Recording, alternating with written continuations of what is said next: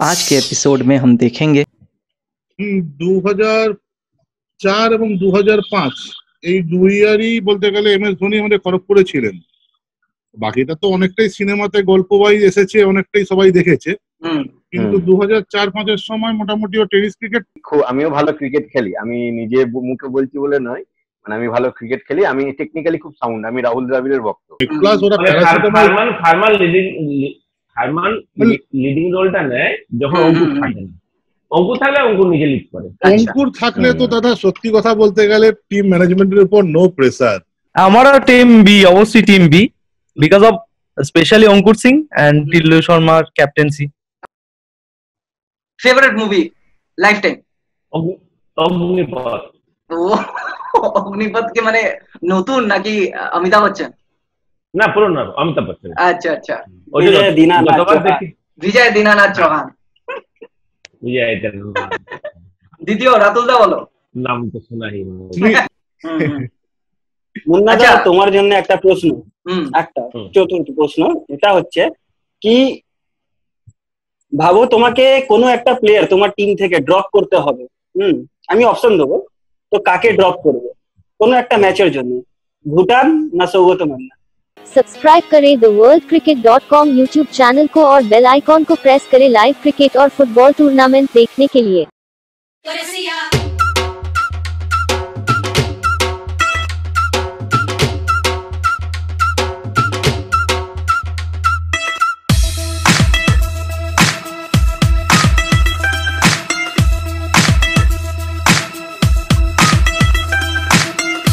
तो स्वागत है आपका the world cricket dot com में और हमारा बंगाल टेनिस क्रिकेट का पहला web show the lockdown show में। इस शो में हम टेनिस क्रिकेट प्लेयर्स के क्रिकेट लाइफ उनके पैशन उनके हॉबीज के बारे में बात करते हैं। मैं आपका होस्ट किशोर कुमार बैनर्जी और मेरे सह होस्ट आदित्य कुमार पांडे। तो पिछला जो एपिसोड हमारा था, वो बंगाल शॉर्ट हैंड क्रिकेट के ऊपर था, जहाँ हमने बंगाल शॉर्ट हैंड क्रिकेट के एक दिग्गज प्लेयर सोबूज को बुलाया था। अगर आपने वो वीडियो नहीं देखा तो ऊपर आई बटन दिया हुआ है, उस पर क्लिक करें और आप वो वीडियो देख सकते हो। तो पिछला जो वो एपिसोड था, उसमें से हमें कुछ कमेंट मिले हैं, वो जो मैं पढ़ना चाहूँगा। तो मैं मोबाइल अपना ले लेता हूँ। तो पहला कमेंट जो आया है, वो आया है गणेश शाह की तरफ़ से। वो लिखते हैं उस्मानदा को नेक्स्ट एपिसोड में लाना चाहिए बंगाल शॉर्ट एंड क्रिकेट के एपिसोड में। और अनुपम सरकार लिखते हैं कि সবুজদা হলো ওয়েস্ট বেঙ্গল শর্ট হ্যান্ড ক্রিকেটের ব্র্যান্ড বিজয়দা হলো গড তো সবুজদা হলো কিং আর নেক্সট ইন্টারভিউতে আমি বিজয়দাকে চাই থ্যাঙ্কস आदित्य और किशोर दा এত সুন্দর ওয়েব শো করার জন্য तो नेक्स्ट जो दो कमेंट है वो आदित्य पढ़ेंगे नेक्स्ट कमेंट मैं पढ़ लेता हूँ ये आया है श्याम सिकदार की तरफ से उन्होंने लिखा है when is the next video और चौथा जो मैसेज आया है वो है विश्वजीत पोद्दार का उन्होंने लिखा है वेरी गुड इनिशिएटिव दादा। I want to see interview of great tennis player Tillu Sharma, Milan Saha and Vicky Singh. तो दर्शकों को बता दूँ कि हम सारा चीज़ लिस्ट कर रहे हैं और आपको आगे जो है एपिसोड्स में सारे आपके जो इच्छाएँ हैं, वो पूर्ण जो करना है, वो हमारा लक्ष्य है। तो आगे बढ़ाते हैं। आज जो है हम ना ही किसी टेनिस प्लेयर को लाएँगे ना ही किसी शॉर्ट हैंड क्रिकेटर को लाएँगे। आज हम ऑर्गेनाइजर और टीम ओनर को लाने वाले हैं पहली बार अपने वेब शो में द लॉकडाउन शो में। तो बुलाते हैं पीएलबी के करता धरता मुन्नादा और रातुल दा को और साथ ही बुलाते हैं केएमपीएल के ऑर्गेनाइजर और मेंबर ऋत्विक दा और रमेन दा को तालियों की गड़गड़ाहट के साथ। Thank you thank you thank you thank you thank you मुन्नादा good evening good evening দা মুন্না দা মুন্না দা ঋত্বিক দা রমেন দা রাতুল দা সবাইকে নমস্কার the world cricket dot com এর পক্ষ থেকে। আর আমাদের এই শো দ্য লকডাউন শোতে স্বাগত। থ্যাংক ইউ থ্যাংক ইউ আমাদের পক্ষ থেকেও তোমাদের সবাইকে আব্দুল্লাহ গুড ইভিনিং অসংখ্য ধন্যবাদ। নমস্কার। গুড ইভিনিং গুড ইভিনিং তো আহ, প্রথমে একজন একজন করে যাব। কেননা এতজন হয়ে গেছে এটা ফার্স্ট টাইম এরকম দেখতে পাচ্ছ আহ, যেখানে এত লোক একসাথে আসবে। আমরা নর্মালি দেখেছি একজন একজন একজন একজন। এবার এটা প্রথমবার হবে যে এতজন একসাথে আমরা ডিসকাস প্যানেল প্যানেলের মতো হবে এটা, প্রায়। তো প্রথম একটা কমন কোয়েশ্চেন করছি যে লকডাউন তো কেটে গেছে আনলকের দিকে যাচ্ছে। প্রথম ঋত্বিক দার থেকে শুরু করছি। কেটে গেছে, কেমন কেটেছিল? আর আনলকের প্রস্তুতি কি? হ্যাঁ কেটেছিল, ভালোই কেটেছিল। খুব একটা খারাপ কাটেনি মোটামুটি বাড়িতে, কিন্তু একটু বোর লাগছিল। আর গ্রামের ছেলেগুলো সব ছেলেপিলে তো গ্রামের বুঝতেই পারছ। সব খেলাধুলা ছেড়ে সে পাগল হয়ে যাচ্ছিল। পাঁচ সাত দিন আটকে রাখতে পেরেছিলাম বকাঝকা করে তারপরে আটকে রাখতে পারিনি। যে যার কেউ বাঁশতলায় কেউ মাঠে সেই ভয়ে ভয়ে আর কি এইভাবে খেলা শুরু হয়েছে। তারপরে খেলাধুলাও করছে। তো এইভাবেই কেটেছে আর কি। এখন প্রস্তুতি? আগে প্রস্তুতি কি? তো আমি টানা কন্টিনিউ বাড়ির বাইরে পঁয়ত্রিশ দিন বেরোইনি। তারপরে ফেড হয়ে আমিও বেরিয়েছি। আচ্ছা। রবীন্দ্র তোমার কেমন কেটেছিল? আমার তো এই একই ভাবে মানে পাড়ার মধ্যেই পাড়ার মধ্যে বাড়ির মধ্যে বেশিক্ষণ থাকতে হয়তো পারিনি কারণ অ্যাকচুয়ালি অফিসের কাজ টাজ থাকে তো আর এই সময়টা ছুটি পাওয়া গেছিল। তো সেই ছুটিটাকে সত্যি কথা বলতে লকডাউনটাকে হয়তো লকডাউনের মতো পালন করতে পারিনি কারণ লকডাউনটা পালন করা উচিত আমরা ম্যাক্সিমাম টাইমটাই এনজয়মেন্টের মধ্যে দিয়ে আমরা তবে একটা কি বারো তেরো জন ছেলেই একদম। পার্টিকুলার ওই কটা বাইরে কেউ এক্সট্রা অ্যাডও হয়নি ইভেন কাউকে আমরা নতুন করে অ্যাডও করিনি। ওই কজন মিলে ম্যাক্সিমাম টাইমটা আমরা একসাথে কাটিয়েছি ইভেন প্ল্যানিং করেছি বিভিন্ন ভ্যারাইটিস প্ল্যানিং প্ল্যান মানে কেমন? মানে সবাইকে জানিয়ে দিই একটা একটা কথা জানিয়ে দিই সবাইকে। কি রমেনদা আমাদের আহ, দর্শক কাউন্ট করতে অনেক ভালো পারেন। অনেক ভালো দর্শক কাউন্ট করেন। অনেকবার আমরা কেএমপিএল এ দেখেছি হ্যাঁ কেএমপিএল এ আমরা দেখেছি। দর্শক কাউন্ট করতে অনেক অ্যাকুরেট কারেক্ট করে। তো এটা কি করে করো তুমি একটু যদি বলো সবাইকে। এর জন্য আফাফুল্লাহ আর সুমন্ত দা আমাদেরকে হেল্প করে। আর তোমাদের ওই যে আচ্ছা। ক্যামেরাটা আছে না তোমাদের তোমাদের যে ক্যামেরাটা যখন ওই স্পাইটা যখন হয় বা হ্যাঁ যখন ওইভাবে ঘুরে রাউন্ড হয় তখন আমি কাউন্ট করতে সুবিধা হয়। আচ্ছা। মুন্নাদা বলো আমি হয়তো- মুন্নাদা বলো। কেমন কাটলো? কেটেছে হ্যাঁ, কেমন আর প্রস্তুতি কি? লকডাউন তো ভাই কারোরই ভালো কাটেনি আমারও ভালো কাটেনি। বাড়িতেই আহ, এক প্রকার গৃহবন্দী ছিলাম তার মধ্যে যেগুলো সাংসারিক যে সমস্ত কাজ করতে হয় সেগুলো তো করতে বেরোতে হয়েছে। তো যাই হোক লকডাউন কেটেছে হয়তো সবারও সুবিধা হচ্ছে আমারও কিছুটা সুবিধা হচ্ছে। একটা ভয় তো আছে করোনা দিনকে দিন অনেক বেশি করে স্প্রেড করছে। তো আমরা সবাই মিলে যদি একসঙ্গে লড়াই করি করোনাকে জয় তো করবোই। আর ভবিষ্যৎ পরিকল্পনা বলতে যে হালকা হালকা একটু মানে প্র্যাকটিস একটু শুরু হয়েছে ছেলেদেরকে নিয়ে শুরু করেছি। প্রতিদিনই ভোরে উঠে মাঠে যাচ্ছি ওয়ার্কআউট করছি। এবার দেখা যাক পরবর্তী পদক্ষেপ কি নেওয়া যায়। অবশ্যই ক্রিকেট আমাদের যেটা টিমটা আছে পিএলবি মূলত রাতুলি চালায়। রাতুলের সঙ্গে বারবার কনসাল্ট করছি টিম তৈরি করা নিয়ে প্ল্যানিং করছি এইসব নিয়ে চলে যাচ্ছে আর কি। রাতুলদা আপনার কেমন কাটলো?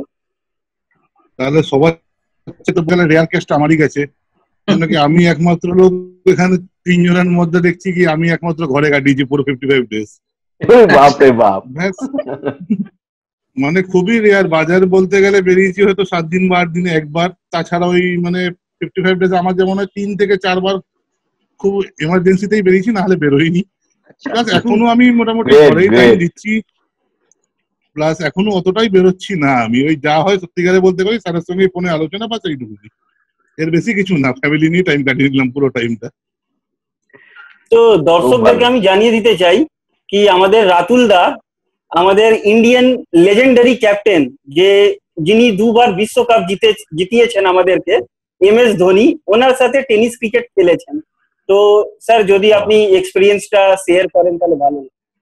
দর্শকের মাঝে যদি এই এক্সপিরিয়েন্স আমাদের আমরা আমরা আমরাও একটু জানতে পারব আর দু হাজার চার এবং দু হাজার পাঁচ এই দুই ইয়ারই বলতে গেলে এম এস ধোনি আমাদের খড়গপুরে ছিলেন। বাকিটা তো অনেকটাই সিনেমাতে গল্প ওয়াইজ এসেছে অনেকটাই সবাই দেখেছে। কিন্তু। দু হাজার চার পাঁচের সময় মোটামুটি ও টেনিস ক্রিকেট বলে হ্যাঁ অন্য প্লেয়ারটা শেরশাহ যেরকম আমাদের সাত্তু ভিয়া আছে রবিন ভিয়া আছে দীপক ভিয়া স্ট্যান্ডার্ড প্লেয়ার ছিল জয় শুক্লা।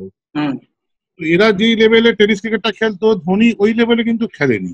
কিন্তু হ্যাঁ ছ সাতটা ম্যাচ আমরাও খেলেছি একসঙ্গে যেরকম জগপুরের মাঠে রাতুলিয়ার মাঠে দুটো খেলা ভালো মতন মনে আছে। প্লাস আমাদের তখন খড়গপুরে গ্রিন একাডেমি এটা খুব বড় টুর্নামেন্ট হতো যেটা সিনেমাতেও আছে। কিন্তু একটুখানি আমি চেঞ্জেস করে বলে দিই তখন ধোনি মেন কথা হচ্ছে দুর্গা স্পোর্টিং হ্যাঁ, টিম হ্যাঁ। চায় না। সাই ইলেভেনে খেলতো টাপ্পু ভিয়া টিম ছিল টাপ্পু জয়সওয়াল ওর টিমে ছিল সাই ইলেভেন একই টিমে আমরা টিম করেছিলাম। এবং খেলার একটা পার্টে একটা মানে ডেঞ্জারাস জিনিসও হয়েছিল, সেটাও একটু শেয়ার করেনি ছ ওভারের খেলা ছিল। তো খেলাটা চার ওভার পর্যন্ত গিয়ে ধোনি ওপেন গেছিলেন ব্যাটিং করতে। চার ওভার পর্যন্ত গিয়ে টোটালি সিঙ্গেলসে মানে কন্ট্রিবিউট করে যাচ্ছিলেন রানকে। তো অলরেডি আমাদের টিমের রান চার ওভারে মাত্র তিরিশ। তখন আমাদের বাধ্য হয়ে আমাদের যে টিমের ক্যাপ্টেন ছিলেন তখনকার দিনের কমলদা বলে, সে সঙ্গে সঙ্গে মাঠে দৌড়ে যান। प्लस दौड़े जेते से अगर बोले आते धोनी भैया क्या कर रहे हो थोड़ा देखिए और दो ओवर बचा है गेम में थोड़ा रन रेट भी बढ़ाना है বলার পরে টোটাল বাকি দু ওভারে সেরকম ভাবে কোনো মাইন্ড চেঞ্জ হয়নি বলার পরেও যতদূর আমার লেগেছে হয়তো একটা ছয় একটা চার মেরে আমরা ফিফটি ওয়ান রান করেছিলাম তো আচ্ছা। সেদিনকে ওই ফার্স্ট ফার্স্ট গেমের পরে যখন আমরা দেখলাম কি ধোনি বলও করে প্রথম ওভার জাস্ট গুলা করার পর সেকেন্ড ওভারটা চেয়ে বল নিয়ে গেল আর ইভেন টেনিস ক্রিকেটে ধোনির মতন জোরে বলার আমি সেই সময়কার আমি দেখিনি। Damn short of length ball মানে মানে মানে হিসাব মতন কিপারও নড়ছিল মাঠে কি এত জোরে মানে আসছিল গ্যাদার করার জন্য। মানে খুবই জোরে। ওই game against team Tata team ছিল বিসিএ তখনকার নাম করা টিম অলরেডি তার আগে ওই টুর্নামেন্টে দু বছর চ্যাম্পিয়ন ওরাই ছিল বিসিএর টিমটা যারা খড়গপুরে কোনো ক্লাবের হয়ে খেলতো ঠিক নামটা আমার এক্সাক্ট মনে নেই। তো ওই টিমটাকে আমরা এই ফার্স্ট টাইম সেমিফাইনালে হারিয়েছিলাম। ওই ওদের দুজনের বোলিং এর। ভেরি স্পেশাল ধোনি and তার সঙ্গে ধোনি এজ এ বোলার হয়ে গেছে এখানে। টেনিস ক্রিকেটে হ্যাঁ এখানে মেন এটাই ছিল বলটা করতো খুব। মানে ব্যাটিং এ হয়তো ওই একটা গেম ছাড়া বাকিকে পাঠলে হয়তো ব্যাটিং যেত না পিছন দিকে থাকার চেষ্টা করতো। কিন্তু বলটা প্রত্যেক গেমে দু দুবার করে করতো আর ভেরি টাফ ওকে শেষ করে এতটা জোর আছে। আচ্ছা টিম তখন লাইন আপে তখন ধোনি অনেকটা নিচে নামতো মানে? ধোনি অনেকটাই নিচে মানে টেনিস ক্রিকেটে তো সিক্স সেভেন ডাউনে নামতো। আচ্ছা। কিন্তু শেরশাহ যে ডিউস টিমে খেলতেন তখনও সেকেন্ড ডাউন ব্যাটিং করতো। ফার্স্ট ডাউনে সেকেন্ড ডাউন ধোনি ব্যাটিং করতেন মানে এটা লেটার ক্রিকেটের কথা বললাম। তো আবার একটা আহ, সবাইকেই কোয়েশ্চেন ঠিক আছে? এবার লাইন বাই লাইন আবার যাচ্ছে ঠিক আছে? এবার আহ, রমেনদা তোমাকে প্রথম থেকে ঠিক আছে? মেমারি তুমি? হ্যাঁ। স্কুলিং আর কলেজ কোথায় হয়েছে? ছোটবেলা কেমন কেটেছে? সবাইকেই আসব এক- একবার একবার করে। হ্যাঁ আমার স্কুলিং বলতে যেটা মাধ্যমিক সেটা একটা পার্টিকুলার স্কুল ছিল উচ্চ মাধ্যমিক একটা পার্টিকুলার স্কুল এবং কলেজ আলাদা। তো আচ্ছা। সেই জায়গা থেকে মাধ্যমিক স্কুল হচ্ছে আমার রাধাকান্তপুর হাই স্কুল আচ্ছা। আমার বাড়ির কাছেই। আর এইচএস যেটা সেটা হচ্ছে আমার গন্ত্রার বিএম হাই স্কুল ওটাও আমার আচ্ছা। বাড়ির থেকে এক দেড় কিলোমিটারের মধ্যেই। আর মেমারি কলেজে আমি পড়াশোনা করেছিলাম। এখানে আমার গ্র্যাজুয়েশনটা হয়েছিল। আর বাকি সমস্ত এমবিএ বা বাকি ডিগ্রি গুলো অন্য জায়গা থেকে ইকটা আচ্ছা। ইউনিভার্সিটি থেকে এবং ব্রেনওয়্যার থেকে কম্পিউটারে ডিপ্লোমা করা। এবার ঋত্বিক দা বলো স্কুলিং কলেজ মেমারি বর্ধমান সব বলো। স্কুলিং স্কুলিং আমার স্কুলিং আমার আহ, দু তিন kilometre দূরই Siddharpur high school. Satgichia Siddharpur Binas institution ওখান থেকে একদম এইচএস পর্যন্ত। আহ, আর কলেজ হচ্ছে আমার বর্ধমান সাইবার বিবিএ করেছিলাম। বিবিএ অনার্স আর এমবিএ বিশ্বভারতী থেকে যেটা ক্যাম্পাস ছিল আচ্ছা। কলকাতাতে আগরতলাতে ক্যাম্পাস ছিল। আর মানে বিশ্বভারতীতে আমাদের এক মাস করে ছ মাস অন্তর এক মাস করে ক্লাস হতো। আচ্ছা। বিশ্বভারতী ইউনিভার্সিটি থেকে এমবিএ মানে এমনি পুরোপুরি মেমারিরই হ্যাঁ মেমারি ওই ওই আমাদের গ্রামের বাড়ি মল্লিকাপুর। আচ্ছা। গ্রামের বাড়ি মল্লিকাপুর মেমারি আমাদের ইয়ে। হুম। মেন আমাদের ছোটবেলা ছোট- ছোট ক্রিকেটে ক্রিকেটে কবে থেকে এলে? ক্রিকেটে কবে থেকে? মানে আমি বলেনি আমি যা শুনেছি তুমি অনেক ভালো ক্রিকেট খেলো ভালো প্লেয়ার ছিলে। আর তুমি গোপাল সিং এর হ্যাঁ, সিনিয়র সেটা- খেলি আমি। বাট কেউ এই জিনিসটা হ্যাঁ, এখনও হাইলাইট হয়নি। আমার এজ থার্টি ফাইভ প্লাস আমি এজ জিজ্ঞেস করছি হ্যাঁ, না দাদা। আমি বলছি তুমি 35 সিনিয়র তুমি সিনিয়র টু গোপাল সিং। হ্যাঁ তো সেটাই আমি হ্যাঁ। সেটাও বলে দিচ্ছি আর কি সেই। হ্যাঁ হ্যাঁ হ্যাঁ। তো আমি আমি খুব আমিও ভালো ক্রিকেট খেলি। আমি নিজে মুখে বলছি বলে নয় মানে আমি ভালো ক্রিকেট খেলি। আমি টেকনিক্যালি খুব সাউন্ড আমি রাহুল দ্রাবিড়ের ভক্ত। তাহলে এর পরের বার কেএমপিএল এ পাবো তো তোমাকে? আমার যে জুনিয়র গুলোকেও আমি সেটাই শেখাই। মুন্নাদা মুন্নাদা হ্যাঁ, শুনে নিন মুন্নাদা শুনে নিন। তুমি আমাকে কোচ। কোচ বা প্লেয়ার হিসাবে তুমি বিডিং বিডিং বিডিং বিডিং হলে ঋত্বিক দার উপর তুলো। হ্যাঁ যদি যদি ছয় মারার জন্য হয় তাহলে ঋত্বিক দা একটু অ্যাভয়েড নিজেই করবে। বাট চার মারার জন্য ঋত্বিক দা একদম 15 পা- বছর একদম পারফেক্ট কভারের জন্য ঋত্বিক দা এতটাই স্ট্রং যে কভারে যে কোনো বোলারকে যদি বল ফেলে ঋত্বিক দা নিয়ে নেবে তাকে। যেখান দিয়ে বলবে ঋত্বিক দা আমি কমিটমেন্ট করেছি কোনো এক জায়গায় যে এবারে বেঙ্গল প্লেয়ারদের একটু বেশি করে প্রমোট করব।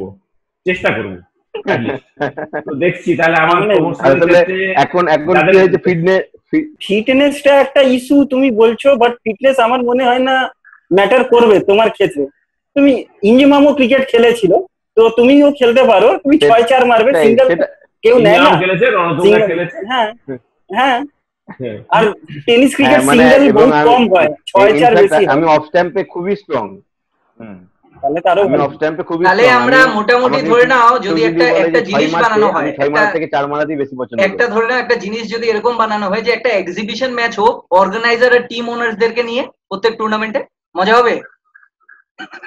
এত। দারুণ হবে এটা তো গুড আইডিয়া এর আগে তো মুন্নাদা এটার ব্যাপারে বলেছে অলরেডি লাস্টে মানে একটা ধরো এক্সিবিশন ম্যাচ থাকবে নিয়ে একটা খেলা হ্যাঁ। চালানো। একদম hundred percent it's a good idea last যে কোয়েশ্চেনটা ছিল ওটার মধ্যে আগে বাড়ছে যে মুন্নাদা বলো স্কুলিং কলেজ ছোটবেলা। আমার হ্যাঁ আমার স্কুলিং আমার একেবারে আমার যে দেশের বাড়ি গঙ্গাসাগর। গঙ্গাসাগরেই আচ্ছা, গঙ্গাসাগর? হুম আমার তো গঙ্গাসাগর। আচ্ছা। পিএলবি সাগর যেটা গঙ্গাসাগর। আচ্ছা। এবার আহ, আমার সাগরেই একেবারে বাড়ির পাশে স্কুল ছিল। বাবা ওই স্কুলের টিচার ছিলেন। তো ওইখানেই আমার মাধ্যমিক পর্যন্ত পড়েছি। তো মাধ্যমিকের পরেই বেরিয়ে এলাম এসে নামখানা তুমি দেখবে যে নামখানা থেকে বকখালি নাম। বকখালি যেতে হ্যাঁ হ্যাঁ আরে আমি গড়িয়া স্টেশন আমি গড়িয়া স্টেশন লাগে। আরে রাজনগরের রাজনগর বিশ্বম্ভর হাই স্কুল ওখান থেকে এইচএস করেছি। এইচএস করার পরে আমি গ্রাজুয়েশন করি ইংলিশ অনার্স করি কন্টাই পিকে কলেজ থেকে এবং মাস্টার্স করি বিদ্যাসাগর ইউনিভার্সিটি থেকে। তাহলে ক্রিকেটে কি করে ঢুকলেন? টেনিস ক্রিকেটের দিকে টানটা কবে থেকে হলো না টেনিস ক্রিকেটে দেখো আমি তখন মানে এইট নাইনে পড়ি তখন থেকে আমার সব তিনটে খেলা আমি ভালো পারতাম। ক্রিকেট ফুটবল এবং ভলিবল তিনটেই টুকুর খেলতাম। এইটা করতে করতে যখন আমি রাজনগরে স্কুলে খেলছিলাম আমি যখন ইলেভেন পড়ি সেই সময় আমি একটা স্কুল ফুটবল চলছিল মানে জেলা স্কুল ফুটবল যেটা ওইটা ফাইনাল ম্যাচে আমি খেলতে গিয়ে কিন্তু আমার পা ভেঙে যায়।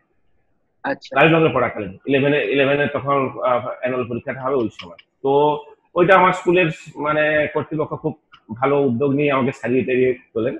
তারপরেই কিন্তু ফুটবলে আমার ভয় চলে আসে। আর তারপর থেকে এখনও পর্যন্ত আমি আর কম্পিটিটিভ ফুটবল খেলিনি। তখন ক্রিকেটটাকেই বেছে নিই। এবং টেনিস ক্রিকেটটা খেলতে আমি টেনিস ক্রিকেটটা অনেক পরে খেলেছি। টেনিস ক্রিকেটটা আমি খেলেছি অলমোস্ট কলেজ লাইফ থেকে। তার আগে কিন্তু আমি লেদার বলটা বেশি খেলতাম। এবং লেদার বল খেলে তারপরে যখন দেখলাম লেদার বলের এটা আস্তে আস্তে কমে যাচ্ছে। তারপরে আমি টেনিস ক্রিকেটে চলে এসেছি। আমি যখন আমি স্কুলের হয়ে কিন্তু ওই থামস আপ তখন থামস আপ স্কুল ক্রিকেট হতো। সেখানেও পার্টিসিপেট করেছি এবং পরবর্তীকালে আবার যখন ইউনিভার্সিটি আসে আমি ইউনিভার্সিটি যুবশ্রী ক্যাপ্টেন ছিলাম। Leather bowling. তাহলে তাহলে পরবর্তীকালে কি আমরা দেখতে পারি দেখতে পারব? পিএলবি সাগরের একটা লেদার ক্রিকেট টিম আছে এরকম ভাবে? হ্যাঁ হ্যাঁ আমাদের টেনিস টিম আছে? আছে। আমাদের লেদার লেদার ক্রিকেট টিম আছে আমি তোমাকে ছবি পাঠিয়ে দেবো। আমি এই বছরও খেলে এসেছি। আচ্ছা। হ্যাঁ মুন্নাদা নিজেও খেলে আদিত্য। হ্যাঁ। মুন্নাদা হ্যাঁ, ওটা- খেলে। হ্যাঁ আমি ক্রিকেটটা খেলি কিন্তু আমার যে এখন টিমের মানে হট্টা কর্তা বিধাতা রাতুল আমাকে সুযোগ দেয় না। ওই টুয়েলভ বা থার্টিন ম্যান করে বাইরে রাখে আর যখন দেখা যাবে কেউ অসুস্থ হয়েছে কোনো একটা প্লেয়ার হঠাৎ করে বাড়ি হ্যাঁ চলে। হ্যাঁ তখন বলে যে স্যার আপনি নামুন ফিল্ডিং করুন। ছ ওভারে গেমে দুটি বল ধরি আর কোনো সময় বল ধরি না। কিন্তু আমাকে ব্যাট বল কিছুই দেয় না। তো রাতুল যদি সুযোগ দেয় নিশ্চয়ই আমি মেন টিমে খেলব। স্যার রাতুল্লাহ দেখো মুন্নাদা কমপ্লেন করছে তুমি ওনাকে সুযোগ দাও না। তো আমরা তোমাকে ইয়ে করব রিকোয়েস্ট করব কি একটু ওনাকেও সুযোগ দেবেন মাঝে মাঝে একটু খেলিও। নিশ্চয়ই এবছর আমি আপনাদের কথা শুনেই পুরোটাই করব মনে থেকে পুরো চান্স দেবো। আমাদের রাতুল দা দাদা, ওটা বলো। আহ, রাতুল দা ওটা বলো। স্কুলিং কলেজ ছোটবেলা কোথায় কেটেছে এগুলো সব বলো। আমার টোটালটাই খড়গপুরে মেন কথা school time ten one two ten পড়েছি আচ্ছা। আমাদের খড়গপুরে একটা ইংলিশ মিডিয়াম স্কুলে one memorial church school eleven টুয়েলভে খেলার নেশা বেশি বেড়ে গেল চলে গেলাম। Panskura Banamali college just for bunk college life bunk করে জাস্ট খেলাধুলা বেশি হবে বলে। তারপর গ্রাজুয়েশন করেছি খড়গপুরের সামনে মেদিনীপুর থেকেই টেডি কলেজ তো পুরোপুরি খেলার মধ্যে ফোকাস করে দিয়ে নিজের পড়াশোনাটাকে অনেকটাই খারাপ করে নিয়েছিলাম অতদিন হুম, গ্রাজুয়েশনের সময় তো প্রায় মানে একটা এমন সময় ছিল আমি ফার্স্ট ইয়ারে নিজে ক্লাস নিতাম না খালি পরীক্ষার সময় গিয়ে ক্লাসে বসতাম। মানে টোটালটাই একটা পিরিয়ড করার সময় পেতাম এরকম একটা সময় গেছে আমার ক্রিকেট নিয়ে এই প্রসঙ্গে বলি রাতুল হ্যাঁ। আই থিঙ্ক এই ফার্স্ট মনে হয় মানে কি বলে সোশ্যাল মিডিয়াতে এলো। রাতুলের ক্রিকেট লাইফ সম্পর্কে হয়তো তোমাদের অনেকটা মানে আইডিয়া নেই হ্যাঁ, হ্যাঁ। রাতুলের মুখে। ওর ওর ক্রিকেট লাইফটা একটু জিজ্ঞেস করো না এবং ওর জীবনে একটা খুব বড় একটা মানে দুঃখজনক ইনসিডেন্ট ছিল আচ্ছা। সেটাও নিশ্চয়ই আমরা মানে আমি আছি আমি কিছুটা জানি। আর এ আচ্ছা, আছে রমেন্দা আছেন এ আছে। হ্যাঁ আমরা শুনতে চাই আমরা শুনতে হ্যাঁ, হ্যাঁ। আরেকটা জিনিস আমি। বলে দিই মানে বলা হয় বলা হয় যে রাতুল হচ্ছে মেদিনীপুর জেলার মানে। অবিভক্ত পরে ডিভাইডেড মেদিনীপুর মানে পূর্ব পূর্ব মেদিনীপুর এবং পশ্চিম পশ্চিম মেদিনীপুর হ্যাঁ। দুই- দুই জেলারই সেরা অলরাউন্ডার এখানে সবাই বলে মানে যতদিন যতদিন ক্রিকেট খেলেছে। আচ্ছা। যতদিন মানে হ্যাঁ। মানে আহ, পিনাকিটাকে এখন ধরা হয় আমাদের পূর্ব মেদিনীপুর পশ্চিম মেদিনীপুর এখন যারা ইয়ে আছে।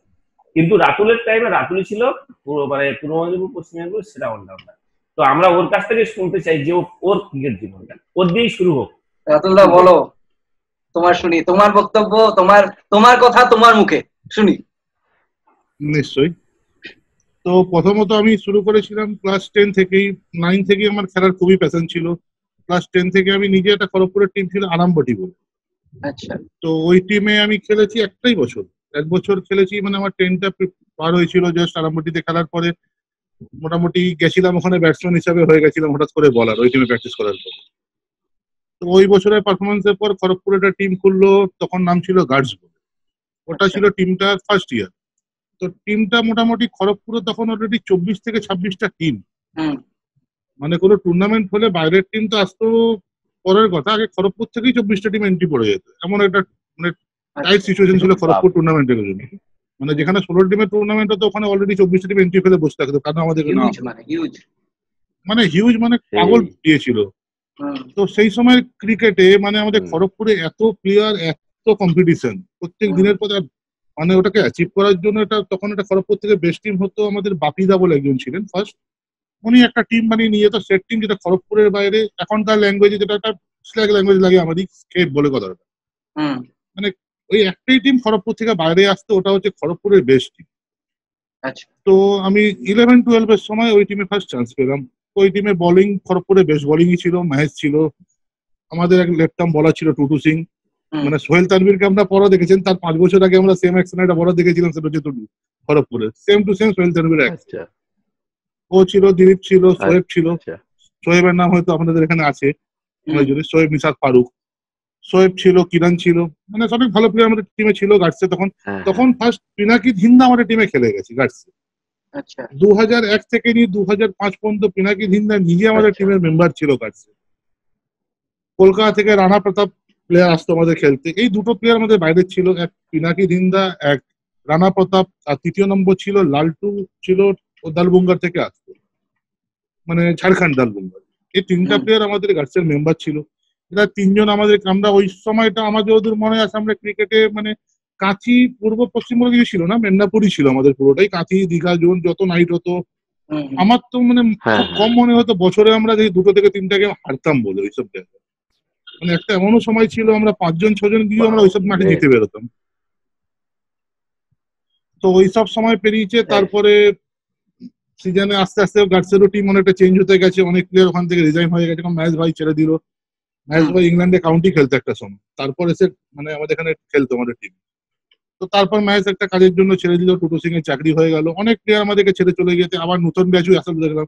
কালারাবি এলো আমাদের গার্ডসে কলকাতার বুকে কালারাবির নামটা আছে কালারাবি এলো কালারাবির পরে মোজেস এলো লেফটাম বলার খুবই ভালো প্লেয়ার ছিল। তারপর আমাদের খড়গপুর থেকে রমেশ উঠল। তখন আমাদের লাস্টের দিকে আস্তে আস্তে অনুরাগকে আমরা নিয়ে এলাম হাত ধরে। অনুরাগ আজকের ডেটে খুবই ভালো প্লেয়ার সবাই জানে। বা এখন হয়তো এক দু বছর অনুরাগ খেলাটা থেকে কিন্তু মানে দূরে চলে গেছে কিন্তু অনুরাগ ভালো প্লেয়ার আমার হ্যাঁ রমেশ দাও খুব ভালো প্লেয়ার খড়গপুর থেকে অনুরাগ একটা টিম করার চেষ্টা করল। অনুরাগ রমেশ রিতেন বিট্টু ওরাও একটা টিম করল। তখন আমরা অলরেডি ছেড়ে দিয়েছি। কিন্তু তার আগে সম্ভবত ভেলিয়ান্স সম্ভবত ভেলিয়ান্স নাম ছিল টিমটার না না না না ভেলিয়েন্ট অনেক পরে। দু হাজার দশ তার- আগের গল্প হচ্ছে গোল্ডেন টিম করল অনুরাগ। প্রথমে আমাদের ইউনাইটেড থেকে অনুরাগের উঠা উত্থান। তারপরে অনুরাগের নতুন টিম হলো গোল্ডেন দু হাজার সাত বা আটে। তখন লাকি আজার ও হয়ে খেলতো খড়গপুরে এসে। ফার্স্ট বেঙ্গলে আসা কিন্তু লাকির ওই অনুরাগের হাত ধরি ওখানে। লাকি মানে লাকি সিং লাকি সিং এর কথা বলছি। এখন টিল্লু টিল্লু লাকি সিং হ্যাঁ ইন্ডিয়া হ্যাঁ। তো ওইসব করাতে লাস্ট দু হাজার তেরো চোদ্দ একটা খুবই খারাপ ইনসিডেন্ট আমার ঘটলো। তখনও মোটামুটি আমি ক্রিকেটটা ছেড়েই দিয়েছি অনেক বছর আগেই। মানে হালকা ফুলে কোথাও মাঠের প্লেয়ার না হলে এখন যখন মুন্নাদা বলল মাঠে নামবে না কেন? তখন আমিও ছিলাম ওরকম পুরো দশজন প্লেয়ার হলে এগারো নম্বর আমি নেমে যেতাম। আচ্ছা। লাস্ট দু হাজার তেরো চোদ্দোর গল্প। আচ্ছা। তো একটা খেলা হতো আমাদের গয়লা পুকুরে মেন ভগবানপুরের ভিতরটায় গয়লা পুকুরে একটা খেলা নাইট মেদিনীপুরে। ভগবানপুর।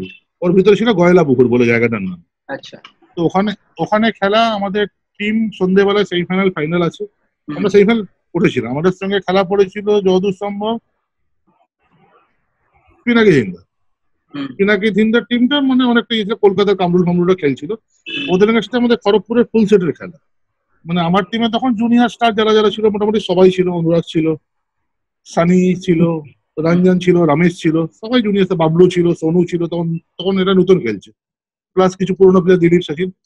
তো আমরা বাইকে করে যাচ্ছিলাম জায়গাটা প্রচণ্ড গরমের সময় ছিল এপ্রিল মাস। তো যাওয়ার সময় একটা বাইকে তিনজন ছিলাম আমরা। তো একটা ড্রাইভার ছিল আমাদের কালারবি একটা জায়গা আমাদের একটা মানে ট্রাকের দুটো ট্রাকের মাঝখানে আমরা ঢুকে গেছিলাম তাই বলতে গেলে। অলরেডি আমার সামনে। হ্যাঁ। সামনে তোমাদের দেরি হচ্ছিল একটু স্পিডে চালানোর জন্য। জাস্ট ওই একটা বিশাল বড় অ্যাক্সিডেন্ট আমাদের ঘটে খেলা তো দূরের কথা আমরা অলরেডি একশো পাঁচ দিন করে হসপিটালে এসেছিলাম মোটামুটি এক একজন। আমি নিজে ছিলাম একশো পাঁচ দিন। সূর্যের আলো দেখিনি। প্লাস কালারবি হয়েছিল ninety four days plus Ranjan বলে যে অ্যাক্সিডেন্টের পরে রঞ্জনের যে পা কাটা গেছিল আর রবি কালা রবির যে চেটো কাটা গেছিল সেটা বলো। হ্যাঁ হ্যাঁ হ্যাঁ, ওটাই বলছি তো তারপরেই আমাদের রঞ্জনের পা কাটা মানে মারাত্মক অ্যাক্সিডেন্ট মানে মরার আগে যে একটা অন্ধকার আট ন সেকেন্ডের অন্ধকারটা আমরাও দেখে ফেলেছিলাম সেই সময়টা। মানে চোখে কিছু দেখতে পাইনি তখন। আচ্ছা। প্লাস আমারও কোমরে অলরেডি ষোলো বার বারোটা বারোটা সার্জারি হয়েছে আমার কোমরে। তো। তারপর থেকে ক্রিকেট লাইফটাকে একদমই অফ করে টিমের দিকে চলে গেলাম। প্রথমে তো নিজে টিম বানানো শুরু করলাম ইউনাইটেড বলে। ওই ওই টিমটা চলল। তারপর আস্তে আস্তে মুন্নাদার হাত ধরে পিএলবির সঙ্গেই আছি এত বছর হয়ে গেল তিন বছর।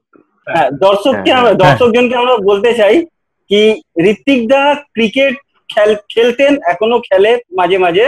আর কেএমপিএল টুর্নামেন্ট অর্গানাইজ করার সাথে সাথে মেমারিতে একটা মিষ্টির দোকান চালায় যার নাম হচ্ছে মৌচাক আপনারা যদি মেমারি যান তাহলে একবার মৌচাকে জরুর যাবেন। আর মৌচাকের ব্যাপারে আচ্ছা, আমরা আমরা। আমরা কাস্টমার ফিডব্যাক দিচ্ছি ব্যাপক। ব্যাপক স্বাদ ব্যাপক খাও। কিন্তু আমার আর এত আচ্ছা। সুযোগ হয়নি। এবারে বর্ধমান তবে তবে রাতুল দা এবং মুন্না দাকে আমাদের কেএমপিএল এর তরফ থেকে এই বছরে হার্ডলি মানে একদম হার্ডলি বলতে পারেন কি রিকোয়েস্ট কি আমাদের কেএমপিএল এ যদি এবছর আপনারা আসেন তবেই আমাদের। কেএমপিএল সাকসেসফুল হবে। Otherwise it. Not become a successful game না না এবছর নিশ্চয়ই যাওয়ার চেষ্টা করছি। এবার অবশ্যই এবারে অবশ্যই যাওয়ার চেষ্টা করব এবং মানে আমি আমার আমাদের প্লেয়ারদের কাছ থেকে যা শুনেছি ওইটা কিন্তু আমার মনে খুব ইচ্ছা। এবং আমি বলেছি রাতুল যাই হোক না কেন এবারে কেএমপিএল যাবই। এবার আমরা তোমাদেরকে শো এর যেটা নিয়ম ওটা বলছি আমাদের এই শো তিন রাউন্ডে ভাগ করা থাকে যেটার মধ্যে কোয়েশ্চেন আসে। প্রথম রাউন্ড হলো ক্রিকেট রাউন্ড যেটা আমরা ক্রিকেট রিলেটেড প্রশ্ন করব কিছু। এবার অর্গানাইজার আছে টিম ওনার আছে তো ওনার বেসড আর অর্গানাইজার অর্গানাইজার বেসড কোয়েশ্চেন্স হবে। সেকেন্ডে আমরা একটু নন ক্রিকেটিং রাউন্ডে যাব যেটার মধ্যে নন ক্রিকেট কোয়েশ্চেন তোমাদের প্যাশন ইন্টারেস্ট হবিজ এসব নিয়ে প্রশ্ন করব। আর লাস্টে নিয়ে যাব র্যাপিড ফায়ার রাউন্ডে ঝাট করে কোনো প্রশ্ন করব অপশন দেবো দেবো না আনসার দিতে হবে। ওরকম টাইপ আচ্ছা তো ঠিক আছে। আগে বাড়ছি। কে অ্যান্সার দেবে সেটা বলে দেবে তো? হ্যাঁ, হ্যাঁ, হ্যাঁ নাম নিয়ে না না। নাম ধরে কোশ্চেন হবে। হ্যাঁ হ্যাঁ হ্যাঁ। তো শুরু করছি তোমাদের আজ্ঞা নিয়ে। হ্যাঁ হ্যাঁ হ্যাঁ।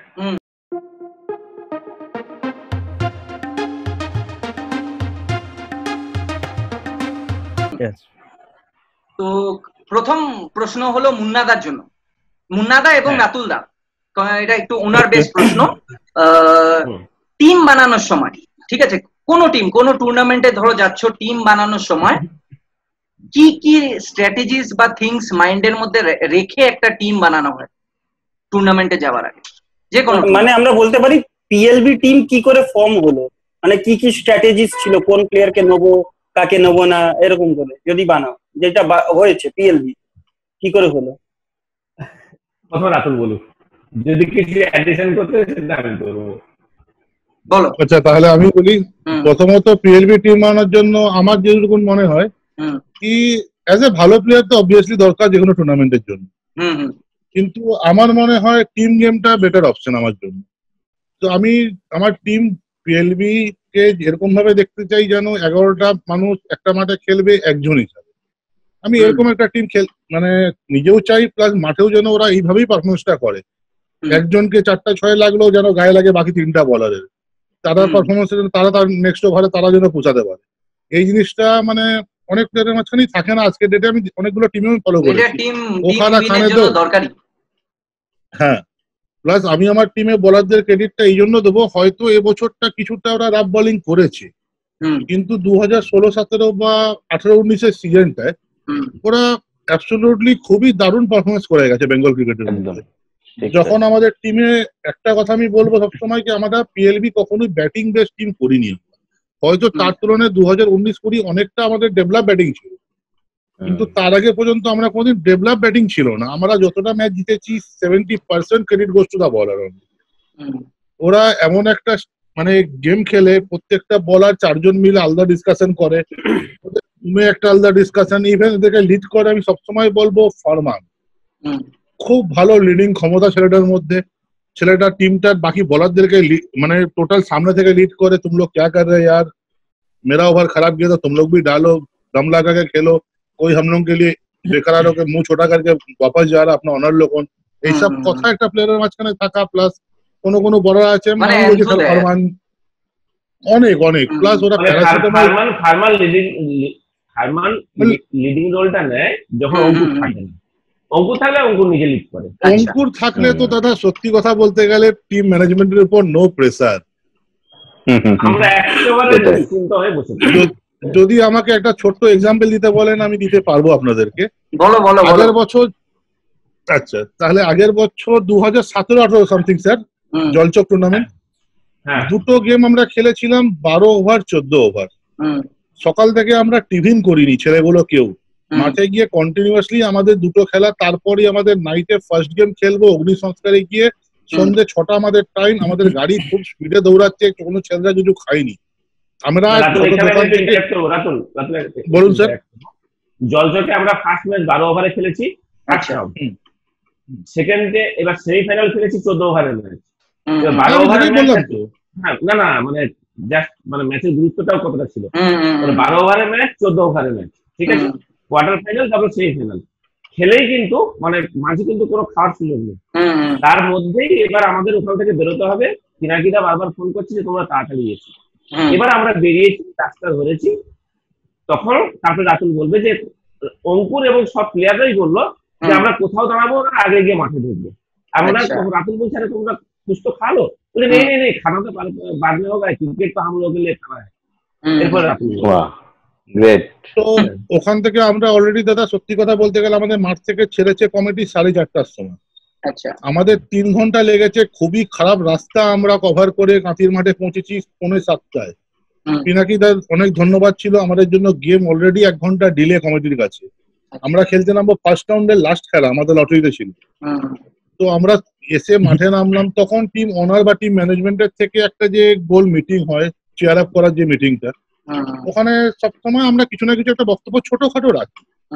কিন্তু ওই দিনকে আমাদের বলার একটা জায়গাও ছিল না কেন কি অঙ্কুর সিং ওখানে দাঁড়িয়ে গোল মিটিং এ একটা জাস্ট সিম্পল কথা বলবো হুম, যেটা আমি ওখানে উপস্থিত ছিলাম আমি জাস্ট ওইটুকুনি বলতে পারি হুম, भाई लोगों सुबह दो गेम खेले हैं अगर भगवान हम लोग का साथ दिया तो शाम को भी अभी तीन गेम खेलना है हम्म। हम लोग किसी का पेट में एक दाना नहीं है हम लोग भूखा है लेकिन भाई एक ऐसा परफॉर्मेंस करेंगे गेम जीत के निकलेंगे रात को साथ हम लोग जो खाना खाएंगे रात का जो डिनर होता है भाई लोगों सब साथ में खाएंगे हंस के खाएंगे एक साथ खाएंगे জাস্ট ওই কথা বলার পর আমাদের টিমের এমন একটা জোশ ফার্স্ট রাউন্ড খেলার পরে ভালো টিমের সঙ্গে ছিল তখন ইউপির ফুল সেটটা ধীরাজ সিং এর এগেনস্টে টুইট ইলেভেনের খেলছিল হুম, হুম, ওই টিমের এগেনস্টে ফার্স্ট আচ্ছা। গেম ওই গেম আমরা জিতার পর থেকে আমাদের টিমের জন্য একদম মোরালটাই চেঞ্জ হয়ে গেল ইভেন ওই টুর্নামেন্টের সেমিফাইনালে হুম, আমাদের কৃষ্ণা সাতপথে সেমিফাইনাল না খেলে চলে গেল কোনো ঘরের ওয়ার্কের জন্য খুব দরকার পড়ে গেছিল হুম, ওই গেমও अंकुर যাওয়ার পর একটা কথা अंकुर सिंह বলেছিল कि कोई जा रहा कौन आ रहा मेरे को परवाह नहीं है हम जितना लोग जो है जो ग्यारह है हम लोग ग्यारह ही खेलते हैं मैदान में कोई हम्म। स्पेशल नहीं है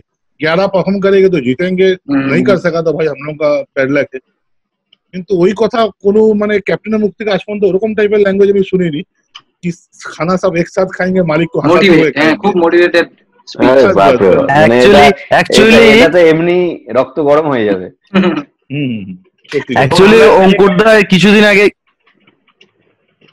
বলো বলো। হ্যাঁ অ্যাকচুয়ালি অঙ্কুরদা কিছুদিন আগে যে ইন্টারভিউটা ছিল। ওয়ার্ল্ড টেনিস ক্রিকেট সম্ভবত ওখানে যে ইন্টারভিউটা দিয়েছিল ওখানে কিন্তু একই কথা। কি কেউ স্পেশাল বলে কিছু নেই আমার এগারো জন টিম মেম্বার আমরা সবাই সমান। কেউ স্পেশাল না কি এ ব্যাট করতে পারে ভালো ভালো বল করতে দ্যাট ডাজন্ট ম্যাটার আমরা এগারো জনের ফুল এফোর্টটাই হচ্ছে আমাদের মেন থিং এবং মেন ম্যাটার হচ্ছে ওটা ম্যাচ জেতার জন্য। আমরা ওই টুর্নামেন্টটা সেমিফাইনালে বসন্তকে হারিয়েছিলাম এবং ফাইনালে রাজপাশন টাসন ওরা একটা ফুল সেট মানে কলকাতার দুটো টিম প্যাক হয়ে গিয়ে ওখানে খেলছিল। তিনটে ম্যাচে। স্যাঙ্কি হিমাংশু পাওয়ারও ছিল ওই টিমটা একই টিমে খেলছিল। বাহ বাহ বিনোদ রায় চৌধুরী সব ফুল সে ভালো হ্যাঁ। আর আমাদের ভালো টিম ছিল ওটাও। সবেদন নীলপনি অঙ্কুর সিং আর আর ভুটান। আর কিন্তু কেউ ছিল না। হুম। রাতুল ভুটান ছিল? হ্যাঁ হ্যাঁ ভুটানও ছিল। না ভুটান ছিল না। ভুটান আঠারো উনিশে জয়েন করেছে। ওটা সতেরো আঠারো অগ্নি সংস্কার কাপ ওইটা আমরা চ্যাম্পিয়ন না ওটা ছিল না ওটা ভুটান ছিল না। ঠিক আছে? ওটা দিল্লি ছিল। তাউলিয়া তাউলিয়া সচিন তাউলিয়া ছিল। তো ইয়ে কিশোর আমরা করতে গেলে যেটা করি মূলত। সেটা হচ্ছে প্রথমে আমরা কিন্তু যখন সিজন চলতে থাকে তখন থেকে কিন্তু আমরা নেক্সট ইয়ারে গ্রুপ শুরু করে দিই। আচ্ছা। ঠিক আছে? আমরা বিভিন্ন ছেলেকে লক্ষ্য করি। হ্যাঁ বিভিন্ন ছেলেকে লক্ষ্য করি যে কে কে ভালো খেলছে। এবং আমরা চেষ্টা করি তারের পিছনে না। এবং রাতুলি ওটা মূলত লক্ষ্য করে স্পট করে এবং আমি কিছুটা স্পট করি। আমি যদি গ্রাউন্ডে নাও যাই আমি কিন্তু সব। খেলাগুলো এখন তো ফেসবুক ইউটিউবের দৌলতে দেখি। কি করি? তো আমি কিছু ছেলে অলরেডি নাম আমি নোট করি। এবার ওই নামগুলো নোট করে রাতুল যে নামগুলো নোট করে ওর সঙ্গে একটা ভেরিফাই করি। হয়তো আমরা কুড়ি জনের লিস্ট করি। কুড়ি জনের লিস্ট ওটাই রাতুলই ফাইনাল করে। রাতুল ফাইনাল করে আমাকে হোয়াটসঅ্যাপ করে স্যার এই কুড়ি জন আমি স্পট করেছি আপনি দেখুন। এবার ওই কুড়ি জনের মধ্যে আমি যখন দেখি দেখেই আমি আমাদের ফার্স্ট ইয়ে থাকে মানে আমার যেটা ক্রাইটেরিয়া আমি রাতুলকে বলি রাতুল তুমি প্লেয়ারগুলো সম্বন্ধে খোঁজ নাও যে এদের ব্যবহার কেমন। আচ্ছা। বিহেভিয়ার কেমন বিহেভিয়ার কেমন এবং অ্যাজ এ ম্যান এরা কেমন? তো এইটা কিন্তু আমরা খোঁজ নিই। এই পরের এক মাস দেড় মাস দু মাস ওদের সঙ্গে যারা খেলেছে বা ওদেরকে যারা খেলিয়েছে মানে অনেক যারা ফিনান্সার ওদের কাছ থেকে খোঁজ নিই যে এই প্লেয়ারটা কেমন এই প্লেয়ারটা কেমন ব্যবহার কেমন। আমাদের কাছে মানে ফার্স্ট অ্যান্ড ফরমোস্ট আমাদের কিন্তু প্রায়োরিটি থাকে যে ডিসিপ্লিন ডিসিপ্লিন তো সেই করে আমরা তার মধ্যে থেকে শপিং করি ডিসিপ্লিন প্লেয়ারদেরকে দিতে। যারা যারা আমি মনে করি যে cricket is all about discipline discipline যার মধ্যে ডিসিপ্লিন নেই সে মানে তার মধ্যে কিছুই হবে না। হয়তো একটা দুটো ম্যাচ জিতিয়ে দিবে। কিন্তু আমরা যে উদ্দেশ্যে টিম করি আমরা তো ব্যবসার জন্য করি না আমরা মূলত আমাদের ক্রিকেট ভালোবাসা। পেশা। তো ওইখান থেকে আমরা কুড়ি জন যদি মানে আমরা লিস্ট করি সেখান থেকে আমরা বারো কি চোদ্দ জনে আমরা এ করি। আর যে ছজনকে বাদ দিই আমরা ওটা কিন্তু কোনো ক্রিকেটীয় কারণ নেই অক্রিকেটীয় কারণ সেটা হচ্ছে হুম, ডিসিপ্লিনিজম এবং যে কারণে যে কারণে আহ, সবাই বলে এবং আমরা এই জন্য খুব গর্ববোধ করি যে আমরাই ওয়েস্ট বেঙ্গল সম্ভবত যে কটা যে কয়টি ডিসিপ্লিন টিম আছে মাঠে তার মধ্যে কিন্তু আমরা আমরা কোনোদিন কোনো মাঠে কোনো মাঠে কোনো গন্ডগোল করি না। আম্পায়ারের কোনো ডিসিশনে আমরা কোনো মানে সবসময় মানে কোপারেট করি করি সবকিছু করি। এবং এটাই হচ্ছে আমরা মানে মেনে চলার চেষ্টা করি। এবং আরও একটা আমি আজকে বলি আমাদের যে এগ্রিমেন্ট হয় আমাদের কিন্তু প্লেয়ারদের সঙ্গে এগ্রিমেন্ট থাকে। এবং প্লেয়ারদের সঙ্গে এগ্রিমেন্টে একটা ক্লস থাকে যে যদি কোনো প্লেয়ার মাঠে যদি কোনো অফ খেলোয়াড়ের তো আসে এগ্রিমেন্ট কীরকম বেসিসে হয়? মানে seasonal one season to one season না না না। আমাদের থার্টি ফার্স্ট মার্চ পর্যন্ত। আচ্ছা। From first first December to thirty first March মানে এক সিজন মানে one year one year contract basis মানে। হ্যাঁ ওয়ান ইয়ার হ্যাঁ ওয়ান ইয়ার কন্ট্রাক্ট বেসিস এবং ওইটাতে আমাদের অনেকগুলো টার্মস এন্ড কন্ডিশন থাকে। তার মধ্যে একটা কন্ডিশন থাকে। যদি কোনো প্লেয়ার মাঠে কোনো খেলোয়াড়ের মানে আনফেয়ার হ্যাঁ আনফেয়ার মানে আর কি জিনিস। আনফেয়ার করে। তাহলে তাকে তো আমরা মানে টিম ম্যানেজমেন্ট তো পানিশমেন্ট দিবেই। এবং তার জন্য একটা হিউজ অ্যামাউন্ট একটা Penalty আর কি। অ্যামাউন্ট পেনাল্টি থাকে।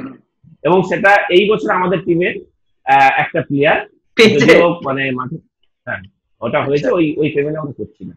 এবং ওই ক্লজেই আমরা করছি। কারণ আমরা না এটা ভালো ভালো জিনিসটাও ভালো যে মানে একবারে যে নেক্সট বার এই জিনিস করবে না। এই টিমে মানে হ্যাঁ হ্যাঁ এবং প্লেয়ারটা দিয়েছিল কি একটা আম্পায়ার মানে আম্পায়ার সাহেব নো দিয়ে দিয়েছিল।